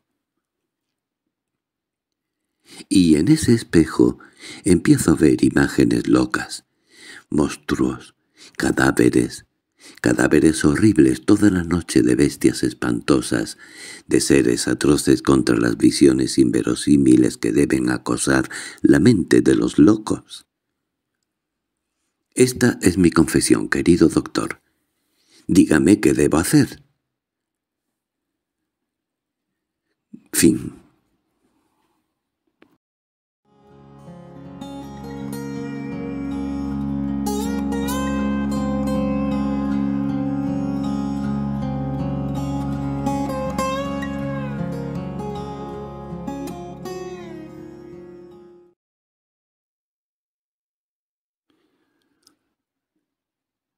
¿Loco? Un cuento de Guy de Maupassant. ¿Estoy loco?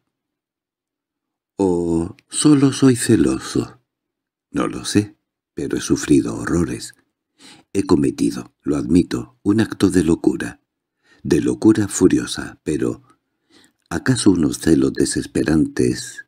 El amor exaltado, traicionado, condenado, el atroz dolor que sufro, todo ello no basta para hacernos cometer delitos y locuras sin ser verdaderos criminales de corazón y de mente. Oh, he sufrido, sufrido, sufrido de forma continua, aguda, espantosa. Amé a esa mujer con verdadero frenesí y, sin embargo, ¿es cierto que la amé? No, no, no. Me poseyó en cuerpo y alma, me absorbió y encadenó. He sido y soy una cosa suya, su juguete. Pertenezco a su sonrisa, a su boca, a su mirada, a las líneas de su cuerpo, a las facciones de su rostro.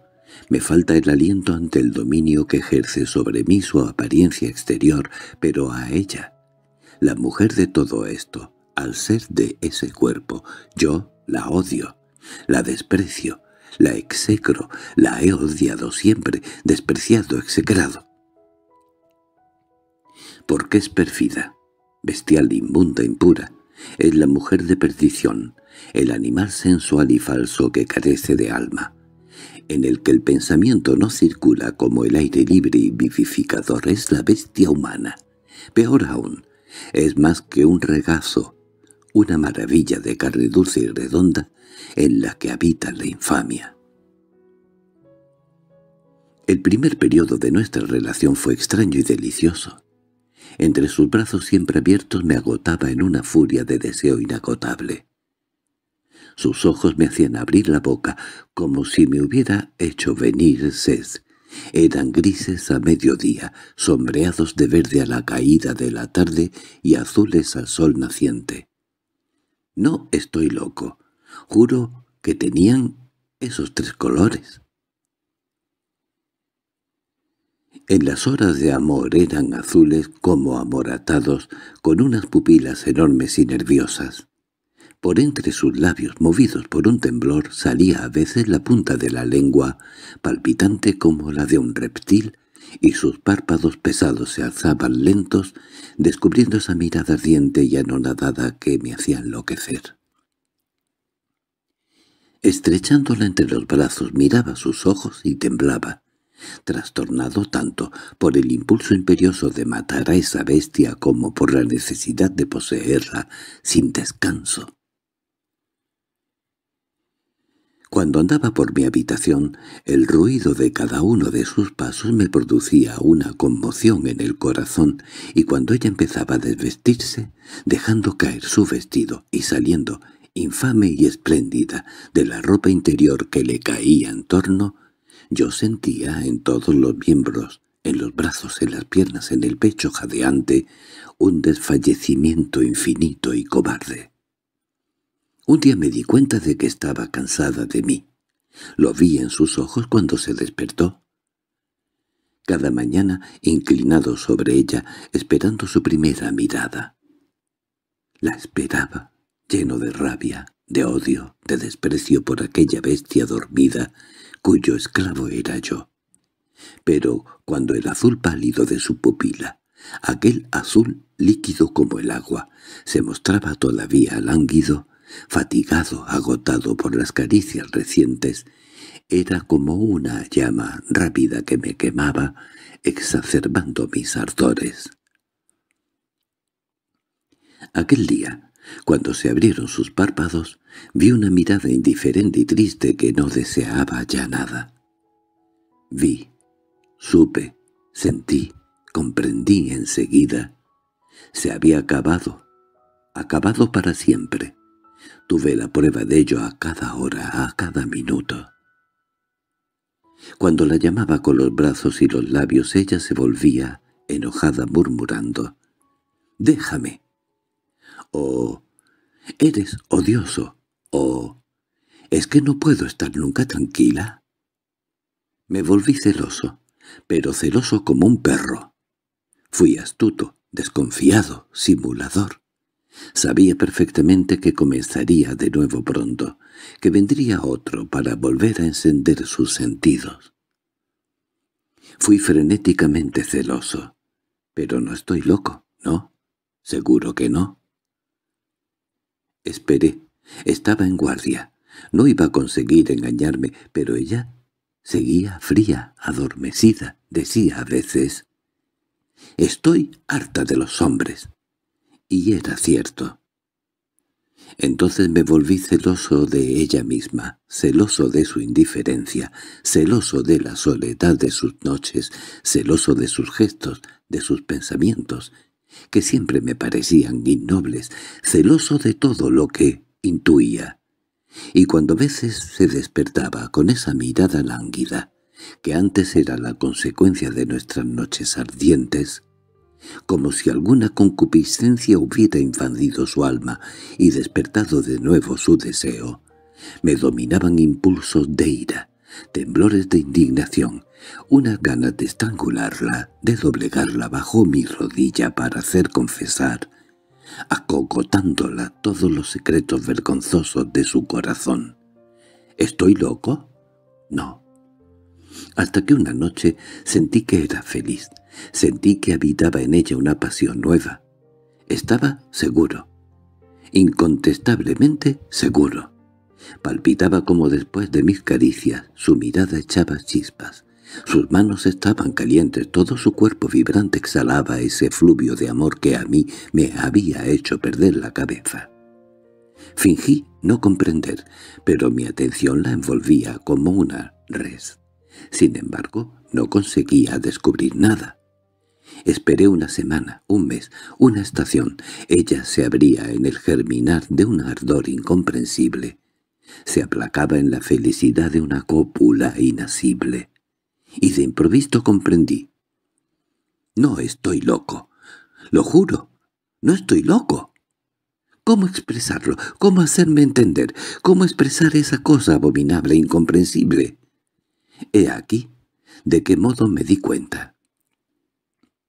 Una noche, ya lo he dicho, una noche, cuando volví de un largo paseo a caballo, ella se dejó caer en una silla baja delante de mí con las mejillas encendidas, el pecho palpitante, las piernas molidas, los ojos amoratados. Ya la había visto así. Estaba enamorada. No podía equivocarme. Entonces fuera de mí. Y para no mirarla más, me volví hacia la ventana y vi a un mozo que llevaba de la brida hacia el establo el gran caballo, que se encabritaba. También ella seguía con la mirada al animal fogoso y pieafante y cuando hubo desaparecido se durmió de golpe. Me pasé toda la noche reflexionando. Me parecía que me adentraba en unos misterios que nunca había imaginado. ¿Quién explorará las perversiones de la sensualidad femenina?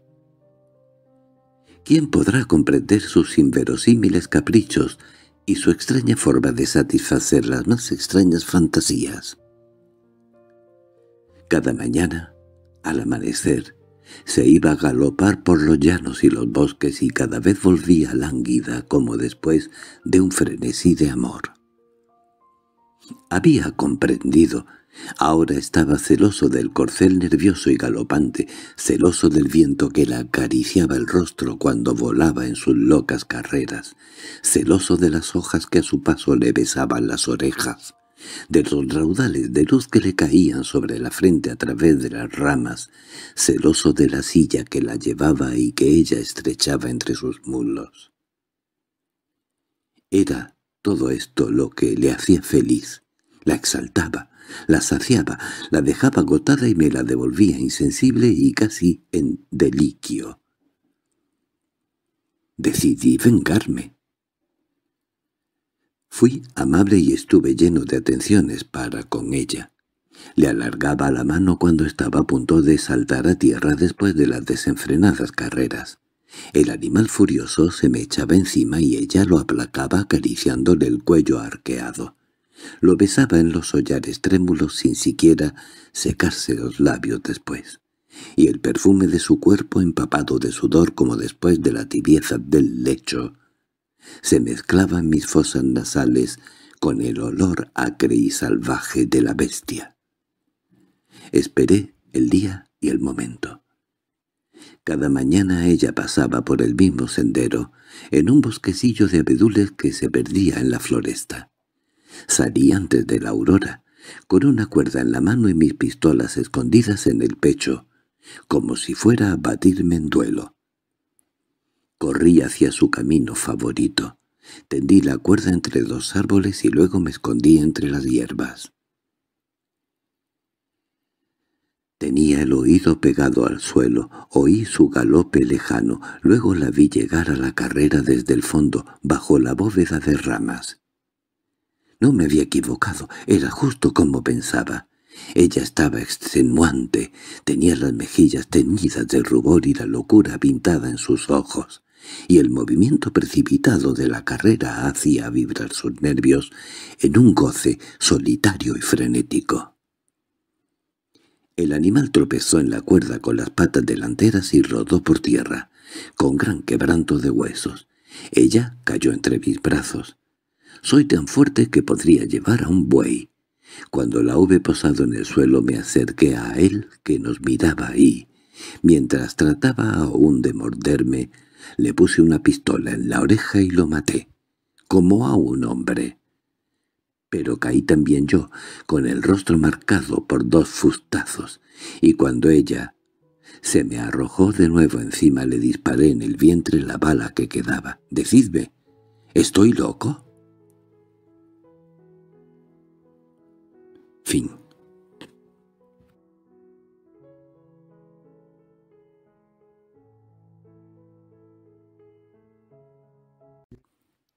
Hoy de Guy de Maupassant leemos el cuento Descubierta.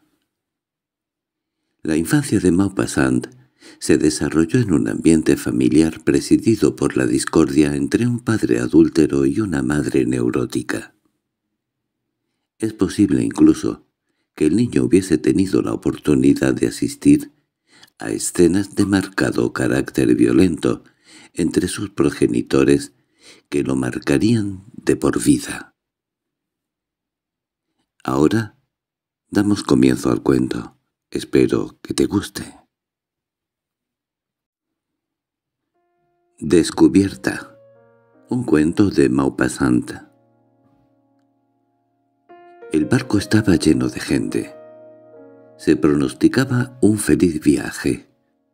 Los abreses iban a dar un paseo a Trouville. Soltaron las amarras. Un silbido anunció la partida. Un estremecimiento sacudió el barco, mientras se oía en torno un rumor de agua removida. Giraron las ruedas se detuvieron y giraron de nuevo suavemente. Cuando el capitán dijo en el portavoz que le servía para dar sus órdenes a los maquinistas, «¡En marcha!», las ruedas comenzaron a girar con rapidez. Nos apartábamos del muelle. Los viajeros agitaban sus pañuelos como si se despidiesen para América, y los amigos que se quedaban en tierra hacían otro tanto. El sol de julio cala sobre las sombrillas, sobre los trajes claros, sobre los rostros alegres, sobre las aguas del océano en calma. Cuando hubo salido del puerto el vaporcito, trazó una curva rápida para dirigir su proa puntiaguda hacia la costa lejana, entrevista vagamente a través de la bruma matinal. A nuestra izquierda se abría la embocadura del Sena de veinte kilómetros de ancho. De trecho en trecho, grandes boyas indicaban los barcos arenosos y se distinguían a lo lejos las aguas dulces y cenagosas del río, que, sin mezclarse con el agua salada, señalaban grandes franjas amarillentas en la superficie verde y pura del mar. En cuanto me veo en una embarcación, siento la necesidad de pasear de arriba abajo como un marino que hace guardia. ¿Por qué? Lo ignoro. Pero lo cierto es que, según mi costumbre, comencé a pasearme, procurando evitar encontrones con los viajeros. Me llamaron. Volví la cabeza. Reconocí a un amigo o compañero, Enrique Sidón, al cual no había visto en diez años. Después de darnos un afectuoso apretón de manos, refiriéndonos a unas cosas y otras, emprendimos nuevamente los paseos de oso enjaulado, sin dejar de hablar. Mirábamos las dos filas de viajeros sentados uno y otro al lado del puente. De pronto Enrique dijo con verdadera expresión de rabia. «Está lleno de ingleses, qué asco». En el vapor abundaban, en efecto, los ingleses. Los hombres en pie contemplaban con sus gemelos el horizonte con un cierto empaque de importancia que parecía decir «Somos nosotros, los ingleses, los dueños del mar. Aquí estamos. Y todos los velos blancos que flotaban en sus sombreros parecían banderas desplegadas para indicar su poder.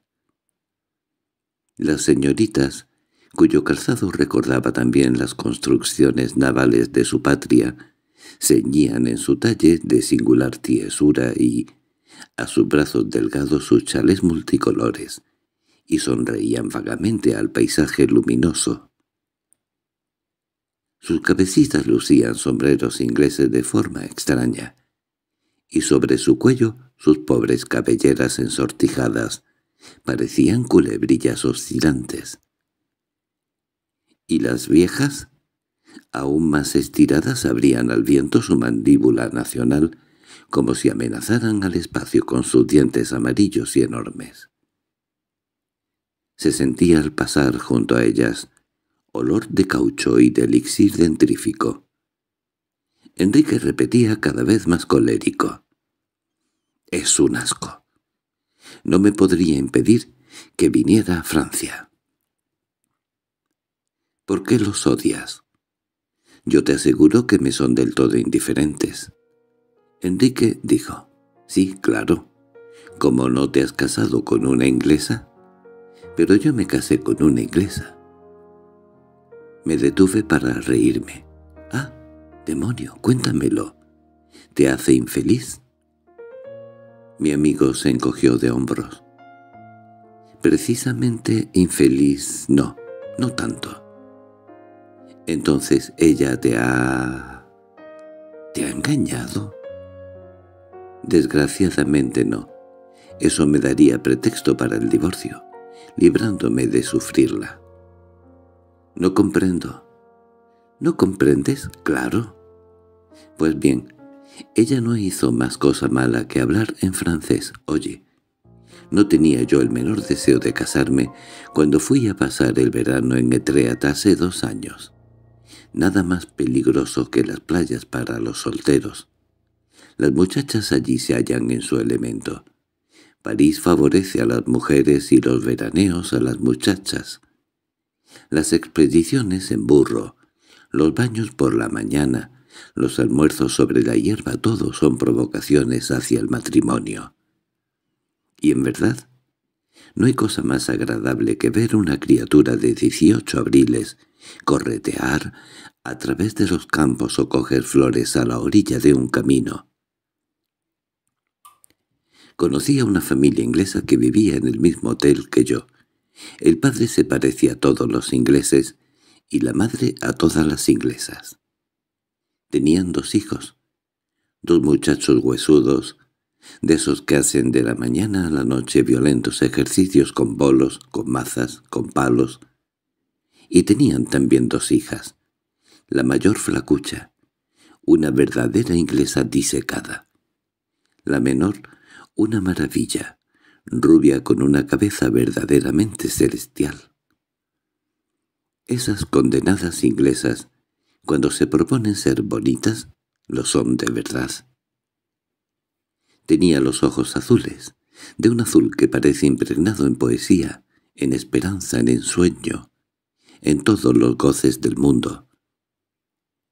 ¿Qué horizontes abren a los delirios amorosos los ojos de una mujer como aquella? Qué bien responden a las ansias eternas y confusas de nuestro corazón. Es preciso confesar que los franceses adoramos a las extranjeras.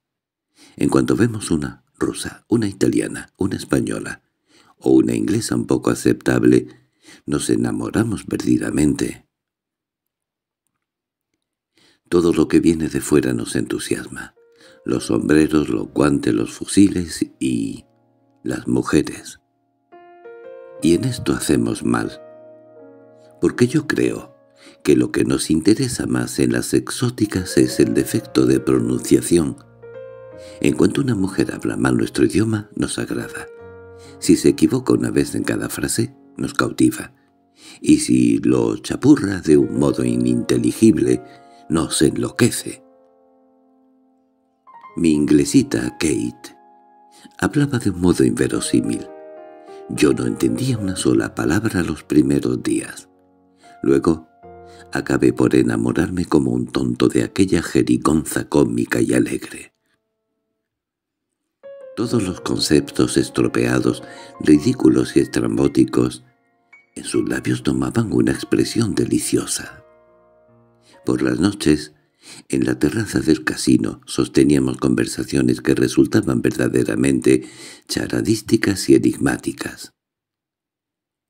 Cuando me casé la adoraba con locura como se adora un ensueño.